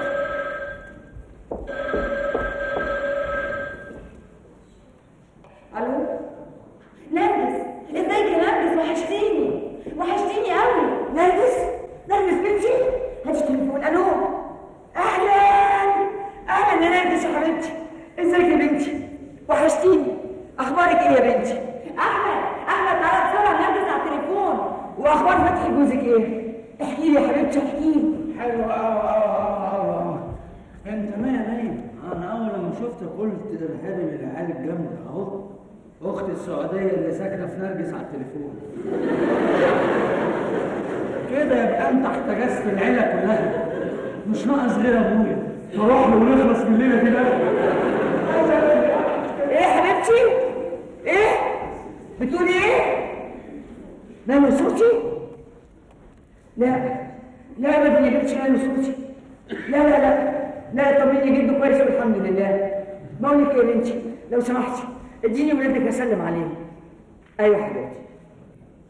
ألو؟ أهلا يا سوسن إزيك يا حبيبتي؟ وازاي ده يا أختي. وحشتوني. وحشتوني قوي يا ولادي. بقول لك إيه يا حبيبتي؟ اديني مامي تانية أكلمها يا بنتي. ألو؟ أنا نرجس يا بنتي. هتيجي إمتى؟ إيه؟ الأسبوع اللي جاي؟ الأسبوع الجاي؟ لا. لا يا بنتي. الأسبوع اللي جاي بعيد عليا قوي يمين يا حبيبي الأسبوع اللي جاي؟ أنا عايز اشوفك انت وولادك على طول. أيوه. مش قادرة. مش قادرة أكمل. مش قادرة يا بنتي. خلاص هات عصبي ده خلاص أيوه يا نرجس لا ماما كويسة مفيش حاجة. لحظه واحدة ده تليفون جاي من فتوح. جايب لي كتب وحبوب ألو؟ أخ فتوح. نرجس. ولادك عندي فتوح يا نرجس انت بتعاطي يا بنت؟ ولا إيه؟ توح ما سبتش حتة رحت السعوديه توح نرجس. لا يا حبيبتي أنا أنا زي الفل. أيوه. أنا قاعد زي الفل. يعني مفيش حاجة. أيوه ماما أنا قاعدة مبسوطه قاعدة بتتفرج على الدش بتقول إيه؟ آه فاتحه القناة اللي كده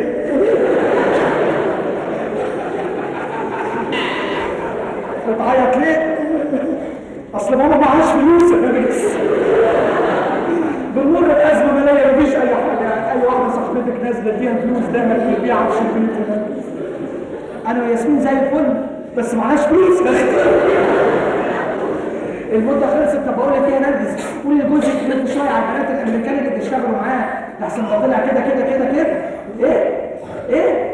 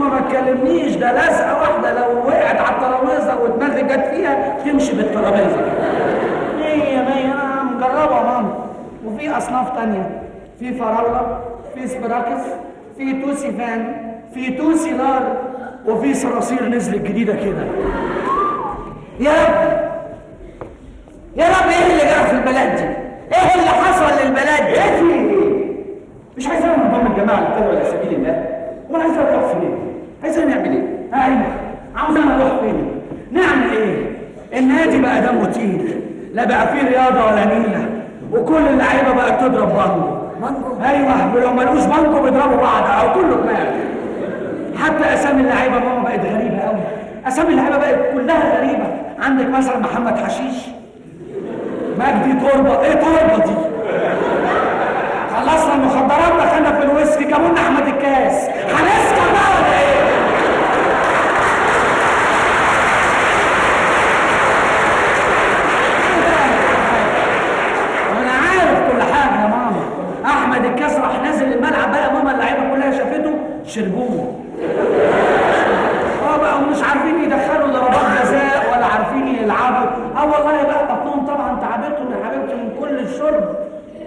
فيش غير محمد كمون قالوا لي كمونة ليه؟ قلت لهم هو ده اللي بينظف معدة اللعيبة. اللعيبة طبعا بطنهم نطفت وبقت زي الفل. جاعوا قلت ما فيش غير الواد كشري. كشري. كشري بقى نزل الملعب وهو تيجي تك تك تك تك تك كشري بقى ماما. اللعيبة شافته كلوا وشبعوا واختنوا وكل لعيب حبيبتي بقى معاه فلوس كتير قد كده وعربية مرسيدس وتليفون. اللعيبة ما فيش غير ياسر والايام دي خد فلوسهم ومشي إيه يا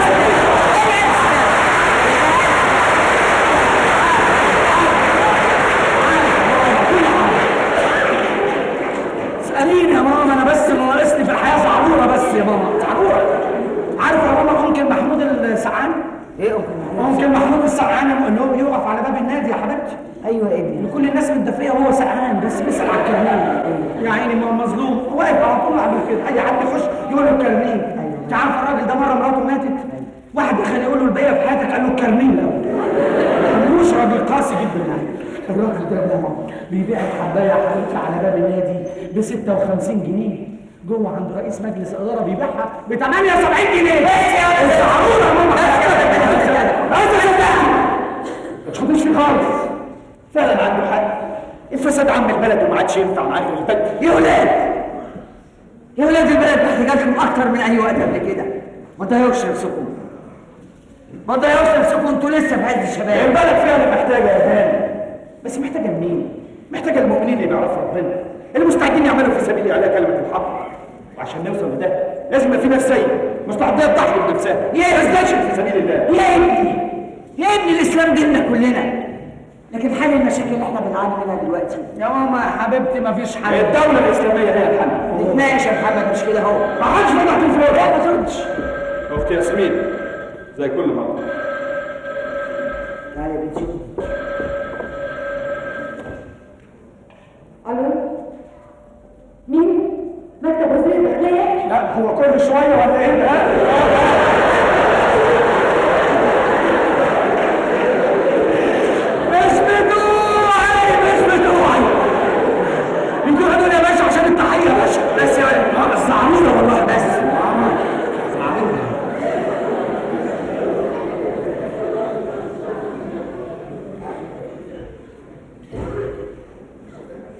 علي صوتك لو سمحت أنا مش سامعك بتقول إيه؟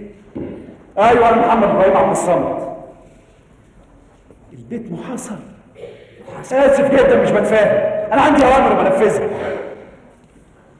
تقتحم البيت. طب اسمع بقى لو حصل اقتحام أنا هفرغ المسدس ده فورا في النهار أنا تحت إيدي أربع أفراد. أين الحل؟ ومش هسيب ولا واحد فيهم.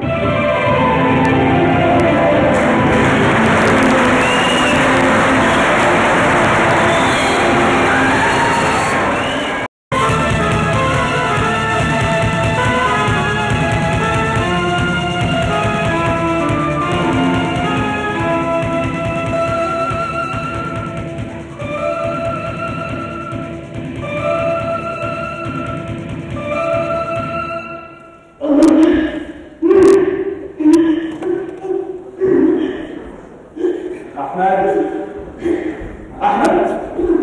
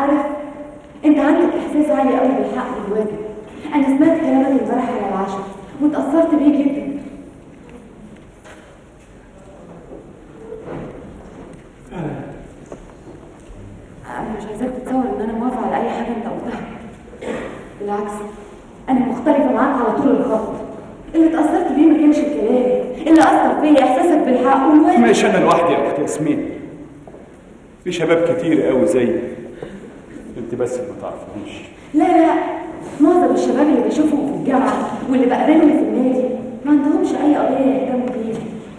لكن أنت نوع تاني.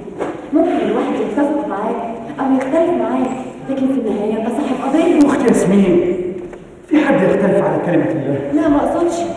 لكن ممكن يختلف على الوسيلة. هل هي اللين ولا العنف؟ اللي بيقول العنف معناه إن كل الوسائل التانية فشلت. اللي يتهيألي من اللي أنا أعرفه من اللي أنا قريته إن اللين ده جزء أساسي من طبيعة الدين السامحة مش مجرد إختيار من الاختيارات. مش ربنا قال في كتابه العزيز ادعو إلى سبيل ربك بالحكمة والموعظة الحسنة وجادلهم بالتي هي أحسن. إن ربك هو أعلم بمن ضل عن سبيله وهو أعلم بالمهتدين. مبدأ الرحمة ده أول حاجة بتيجي في دماغي لما بفكر في الإسلام. درجة الرحمة في الإسلام بتوصل إلى إيه؟ إلى إن الإنسان يبقى متسامح. أنا أنا أول ما بفكر في الإسلام بنسى كل اللي أنت قلته ده دي علاقة بين الإنسان وربه فاهم؟ مش محتاجة أي أمير ولا وسيط. على فكرة أنا سمعت كلامك امبارح على العشاء. واتأثرت بيه جدا. كان نفسي أتناقش معاك لكن للأسف ما كانش فيه فرصة. يعني اللي أنت بتعمله فينا ده والرعب اللي أنت اتسببت فيه لماما دوت ده يرضي ربنا ده ده إسلام ده. أخت ياسمين. شوفي يا أخت ياسمين. شوفي يا أخت ياسمين. أنت وعيلتك. كانكم عيلتي بالظبط. أنتوا ما عندكوش فكرة ان اسلحتكم قد إيه؟ والدتك دي ست طيبه بتعمل بطريقه لصالح المجتمع الحديث الشريف قال خير الناس انفعهم للناس. واخوك أخوك أنا شايف إنه أخ لي يتظلم وإنه ضحية هذا المجتمع الفاسد.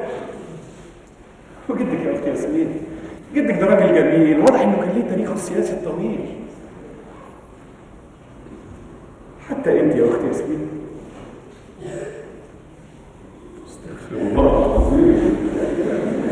حتى انت يا أختي ياسمين. أفضل ما تكون الأخت لكن الواجب واجب.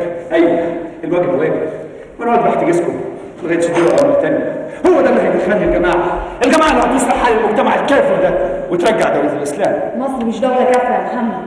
مصر مؤمنة. مش بس بالإسلام بكل الأديان. أنا مش مقتنعة بكلامك ده خالص. لكن ده ما يمنعش إن أنا بحترمك لأنك مقتنع بحاجة ومؤمن بيها إلى هذا الحد. الإنسان بدون إيمان يبقى كافر. ممكن يبقى تافه يبقى غبي لكن كافر لا. هو تكفير الإنسان بالسهولة دي يا محمد. فكر فكر قبل ما تكفر.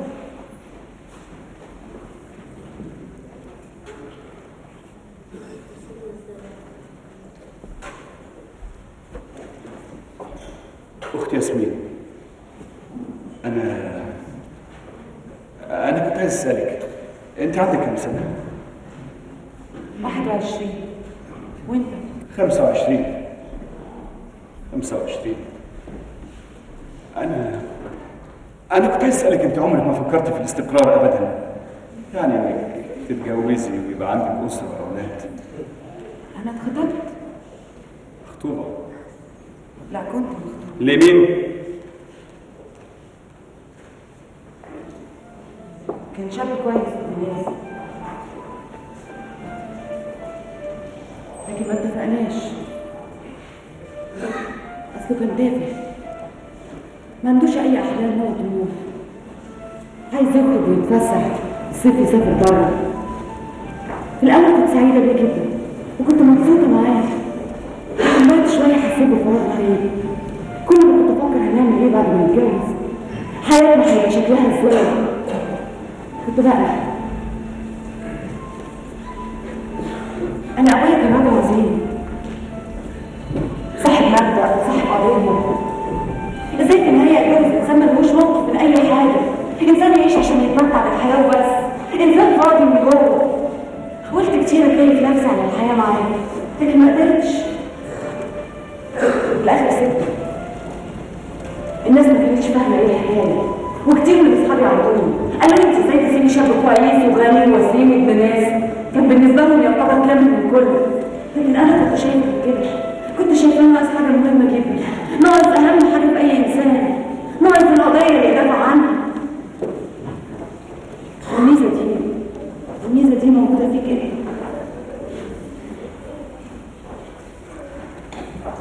لا يا أختي ياسمين. خطيبك ده لو كان عايش عيشتي طلع زيي لو كان عايش في الفقر والحرمان كان لازم هيرفض الفساد اللي في مجتمعنا ده. بتقول إيه؟ انت بتقول ان خطيبك كان بيسافر بره كل سنة؟ أنا حتى مش عارف أعيش جوه على فكرة في ناس كتير قوي بتعاني من الفقر والحرمان لكن مش كلها بتصور عليه. لازم الإنسان يكون من نوعية معينة زيك علشان يبقى له قضية يقدر يدافع عنها. وللأسف النوعية دي أصبحت نادرة جدا في المجتمع بتاعنا. أنت والدك كان بيشتغل إيه يا محمد؟ والدي. والدي راجل فقير على قد حاله. طب ووالدتك والدتي ما اعرفهاش اتوفت من زمان؟ مشيت من زمان. مشيت إزاي؟ والدي والدتي طلعوا على طول بعد ما أنا اتولدت. ساعتها ما أعرفش الاقي امي فين. ما حاولتش تلاقيها؟ حاولت كتير. مفيش فايدة. كان نفسي قوي ليا أم زي بقية الولاد كنت بحس باحتياج شديد يكون ليا أم. وكنت عارف إن ليا أم بس مش عارف هي فين. مش عارف إذا كانت عايشة ولا ميتة. المهم إنها عمرها ما حاولت تدور عليا. عمرها ما حاولت تشوف ابنها سابته في اللفة ده. جربوا إيه؟ من ساعتها عرفت أكيد الحياة بتاعتها.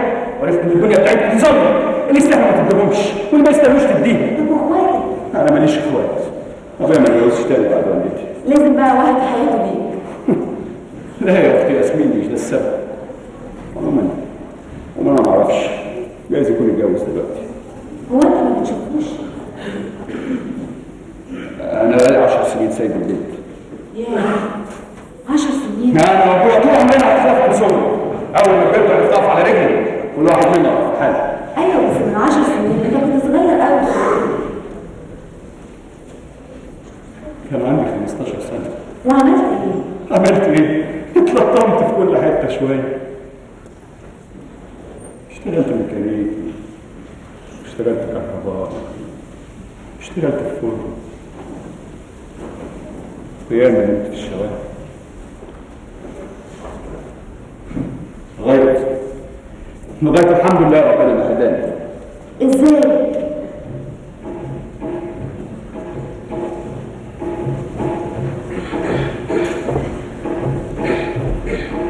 في يوم رحت أركب أنوار في جامع في الشرقيه جامع صغير يعتبر زاوية الصلاه بتاعتنا دي قعدت اتردد على الزاويه دي حوالي أسبوع. وهناك اتعرفت بشباب كتير قوي صالحين خدوني معاهم شاركت في بعض الأعمال اللي كانوا الإسلام. يعني مرة دخلنا عندنا في الحي وهندخل بيت من دول رحت معايا الراجل اللي فيه. بقول له لازم تركب جوه الحريم اللي عندك وساعات كنا نكلم حريم بنفسنا في الشارع. نقول واحدة منهم لازم تغطي وشك. ولا كانت تقول لا. كل يوم على الظهر مره زمان كان في مسرحيه بتعمل في المنصوره رحنا ولعنا في المسرح وطلعنا عليه ده حقيقي قوي اللي كنا نسمع بس عنده فرح. كنا ندخل عليه بس سبع ثمان رجاله لو مفيش مزيكا مفيش سقف مفيش أغاني ولا بنسمع أفراح ولا نفرح هو اللي بيني ولا بينك إزاي؟ جمال على الفكر شغل ترشيح يا القرآن. أنا لازم يعني المسخرة دي. سواء السهر نفسه مش مستحب. كان في جماعة في البابة من الساعة 7 يعدوا على البيوت يا رب بلادك يا سيدي. عشان ما مفيش حد يعرف يقف ولا مش دعوه لكن بعد ما بيحبس الناس في بيوتهم مين بيروحوا يسرقوا الذهب من محلات السلع استحسن الله يا اخت ياسمين دي السلع استحلال. يعني إيه استحلال؟ يعني برضه فلان بمعنى استحلال الإسلام؟ السلع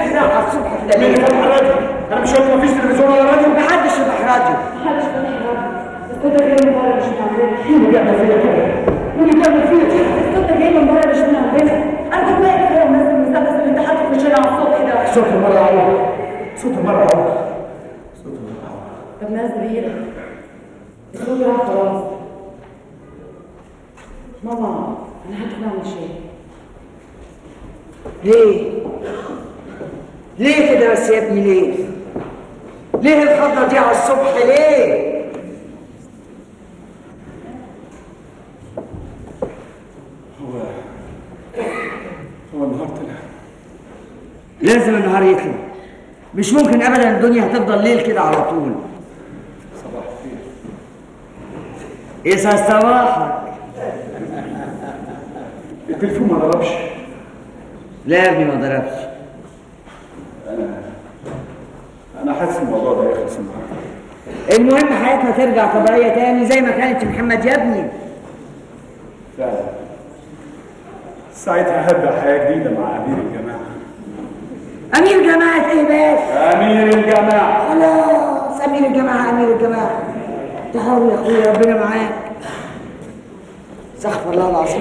الإنسان يا رب نحن الشاي بتاع الكوباية أنا بحبها الكافيه بتاعك يا هاتي حضرتك لسه بنقول يا بنتي. بصي يا ماما. نعم يا بنتي. زهرة بس خلاص ليه؟ يا بنتي. يا بنتي اللوكس عمرها ما تتحط في وضع. لازم تطلع بره في الشمس والهواء. لو حبستيها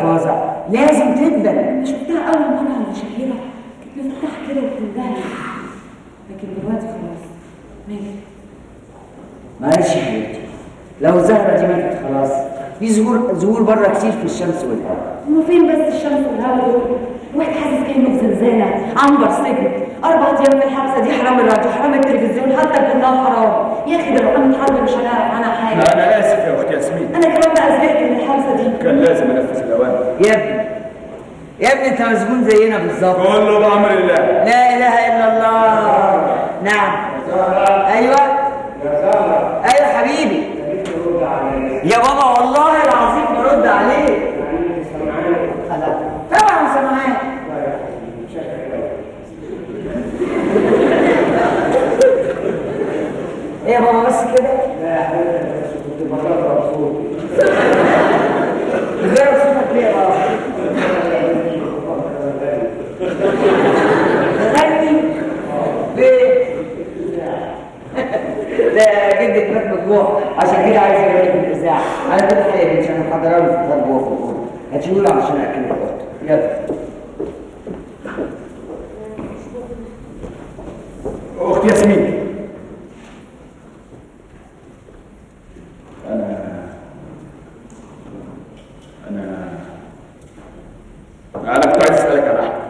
أخباره إيه دلوقتي؟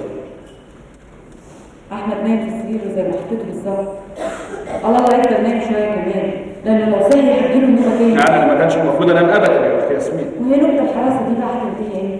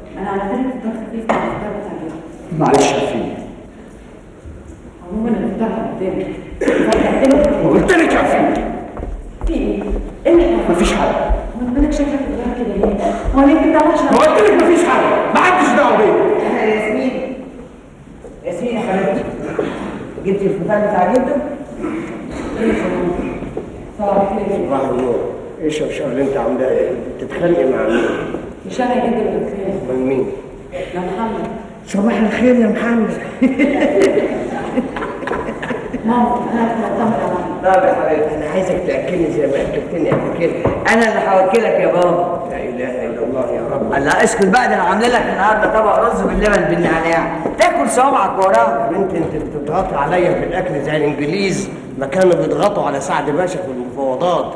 انت اللورد كيتشنر. يا سلام. كده يا سيدي مرة واحدة؟ طب خلاص بلاش تاكل عشان خاطري. كل عشان خاطر اليوم الجميل ده. أنا لما صحيت النهاردة الصبح كان الفجر لسه بيشأشأ صليت وفتحت شباك أوضتي وقفت في الهواء الصافي. وشفت نور الشمس وهو بينتشر في السماء. بلد كانت عاوزة تفرح بالحرية والاستقلال. اتبدلت في الضلمة من قدام عينيا والسماء بقى لونها وردي زي لون الزهور بالظبط. بلد كانت عاوزة تشوف نتيجة كفاحها ضد الاستعمار. وسمعت من بعيد صوت العصافير وهي بتزقزق. حسيت إن رغم رغم كل العمارات اللي محوطانا من كل جانب وسد علينا المنظر إن هناك في الأفق البعيد في نهار جديد بيتولد. كنا فاكرين الحلم هيتحقق خلاص. خلاص. خلاص يا بابا. يبقى لازم تاكل بقى علشان خاطر ال- بسم الله الرحمن الرحيم. مالك؟ مالك يا محمد يا ابني في إيه؟ مالك يا ابني؟ المفاوضات فشلت إيه؟ الإنجليز فضلوا يمضوا مع سعد باشا في المفاوضات. المفاوضات فشلت بعد ما حضر الوفد اللي هيتفاوض معاه. المفاوضات فشلت حضر بنود الاتفاق. المفاوضات فشلت أخيرا سعد باشا هو اللي وقف المفاوضات. أنا ماليش سبب. المفاوضات فشلت لا. لا يا محمد يا ابني كل شيء نهاية. مالك يا ماما في إيه؟ ها؟ لا لا يا بنتي. مفيش حاجة. أمال إيه اللي كان معاك في الأرض كده؟ لا ده أنا اتعاملت بالسجاده محمد كان بيساعدني. سلامتك الف سلامه حصل حاجة؟ أيوه يا بنتي. الوقعه كانت جامده قوي الألم فين؟ في جسمي كله. في قلبي في روحي. آه! البلد كلها ولعت نار. هتكلم في التليفون. هاخد الدكتور لامي آه!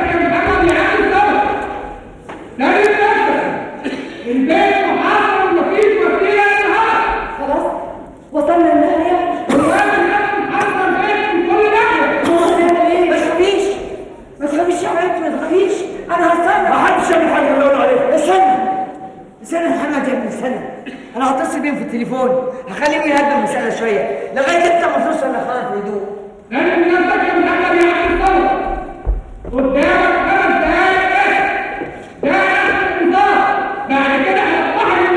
اسمعوا بقى اللي هقول عليه أنا قراري هغيره اللي جيت عشانه هنا لازم يتنفذ. يا ابني دي مكالمة واحدة مش هتاخد مني أكتر من دقيقة. دي حياتي. وحياة أبويا وأولادي في خطر وحياتك أنت كمان. قول لي قول لي يا محمد يا ابني فين نمرة وزير الداخلية اللي أنت كنت كاتبها؟ الاخ مصطفى اللي ما كلمهمش. هم خلاص كلموه. هكلمهم يعني هكلمهم محمد يا ابني أنا زي والدتك. أنا برجوك متوسل إليك. يا ابني وزير وزير الداخلية. ابوس إيدك يا ابني. هناك على الترابيزه فين فين يا بنتي؟ أنا مش شايفة حاجة. فين ثلاثة تسعة ثلاثة كم ثلاثة تسعة ثلاثة اثنين اثنين أربعة. ألو؟ ألو؟ مكتب وزير الداخلية؟ أنا فندم زهر الشناوي أيوه أيوه أنا فندم لا. لا إحنا ما زلنا محتجزين. أيوه البوليس محاصر البيت. نعم؟ بلاش بلاش يا فندم. إحنا بقالنا أربع أيام على الحالة دي. أنا خايفة جدا على أبويا وأولادي. لا يا فندم. لا أنا أنا بتصل بسيادتك عشان أقول لك حاجة تانية خالص. يا فندم. يا فندم أنا برجوك بتوسل اليك فك الحصار على البيت. أنا متاكده أن الحصار ده لو اتفك كل شيء هينتهي على خير إن شاء الله. أنا مع سيادتك. نعم. يا فندم أنا ست مسؤول عارف أنا بقول إيه. يا فندم أنا متحمله المسؤولية بالكامل.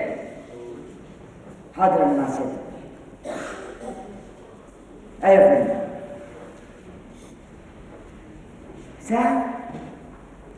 ساعه حاضر يا فندم. متشكرين. متشكرين جدا. مع السلامة. تعال. تعال يا محمد يا ابني. تعال اقعد هنا. محمد. محمد يا ابني. اقعد. شوف أنا دلوقتي قدرت اقنعهم انهم يفكوا الحصار على البيت لمدة ساعة. ساعة واحدة بس. عايزك يا ابني في خلال الساعة دي تنهي الموضوع ده بنفسك. بارادتك صدقني. صدقني يا ابني. كده أحسن لك. علشان تخلص نفسك وتنقذنا معاك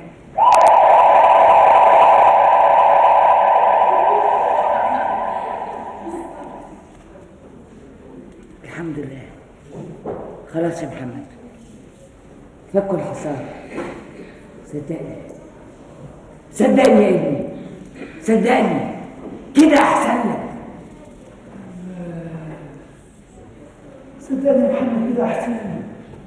صدقني وسلم نفسي. صدقني وقضي بقيت عمرك في السجن يا ابني. يا ابني أنت كنت مستعد لشويه تضحي بحياتك في سبيل الحق في سبيل الواجب في سبيل الاسلام لكن انت انت كده عايز تقتليني استشهاد. عايز تسرقوا مني قضية اللي سرقك يا محمد هو اللي خدعك وضللك مش أي حاجة يا انت اللي عايز تتبعني يا ابني يا ابني اسمع كلامي ده. أنا خلاص تسرقوا مني يا ابني أنا هحولك لادم هحولك لبابا بس مش عايز كلمه اقعد مكانك وانت اقعد انت كمان. أحمد فين؟ أحمد لازم يجي أحمد تعبان وانت عارف اسمع بقى الحول عليك ساعة الصفر جت خلاص. أنا عندي أوامر من الجماعة. إن انت قتلكم واحد ورا الثاني قتلنا؟ سواء استجابوا مطالبنا وما استجابوش.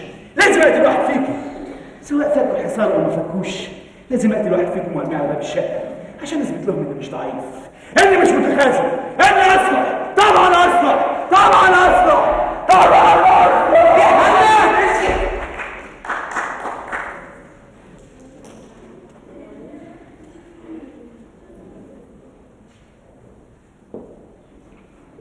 استنى يا ابني واسمع اللي هقولهم لك لما نفوا سعد باشا كنت عايز افديه بروحي افديه بحياتي قلت لهم خدوني أنا بداله قالوا لي أنت مجنون. تطلع مين أنت علشان تفدي سعد باشا أنت حياتك ملهاش أي قيمة. لكن انت يا ابني النهارده هتخلي حياتي قيمة. قدر غريب بعد ما كبرت وعجزت وبقيت رجلي خلاص القبر تجيلي الفرصة لحد عندي اللي كنت بحلم بيها من زمان. تعالى يا محمد يا ابني تعالى هات مسدسك وصوبه على دماغي. ودوس على الزناد واقتلني يمكن أقدر أفدي بنتي وولادها تعالى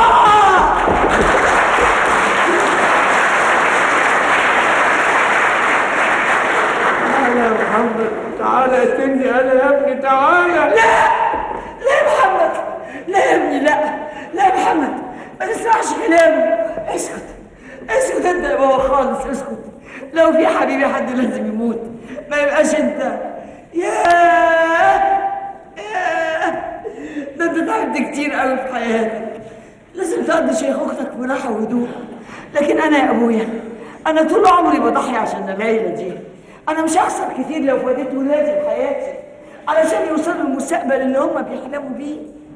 يمكن ده ينقذ ابني. أيوه. أيوه يا محمد. يمكن ده اللي ينقذه. أنا حاولت مع ابني بكل الطرق لكن فشلت. يلا. يلا يا محمد. أنا مستعدة.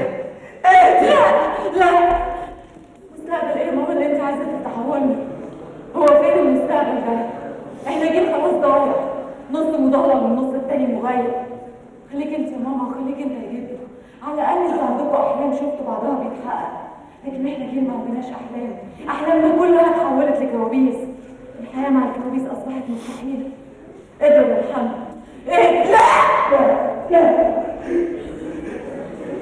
اقتلني أنا يا محمد. هموت هموت اقتلني وخلصت من العذاب اللي أنا فيه.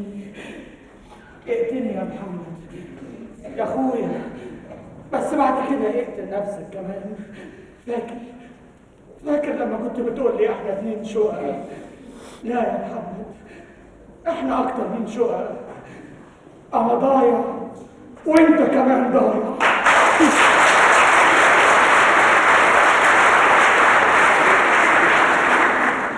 اقتلني يا محمد خلصت من العذاب اللي أنا فيه.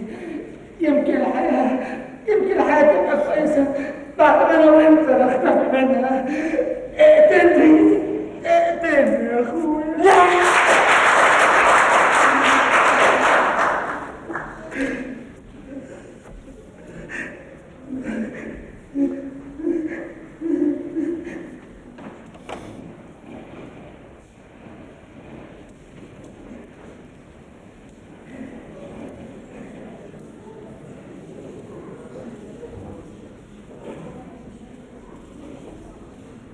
أيوه يا اخ مصطفى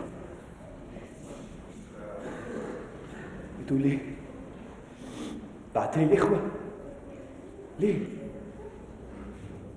متخاذل في المكالمه اللي فاتت متردد أنا عمري ما كنت متاكد من حاجة قد ما أنا متاكد دلوقتي متاكد من الصح والغلط مصرية عايشة كل حياتها الطبيعية. اللي فيها كل نقط الضعف. اللي ممكن تكون موجودة في أي أسرة تانية.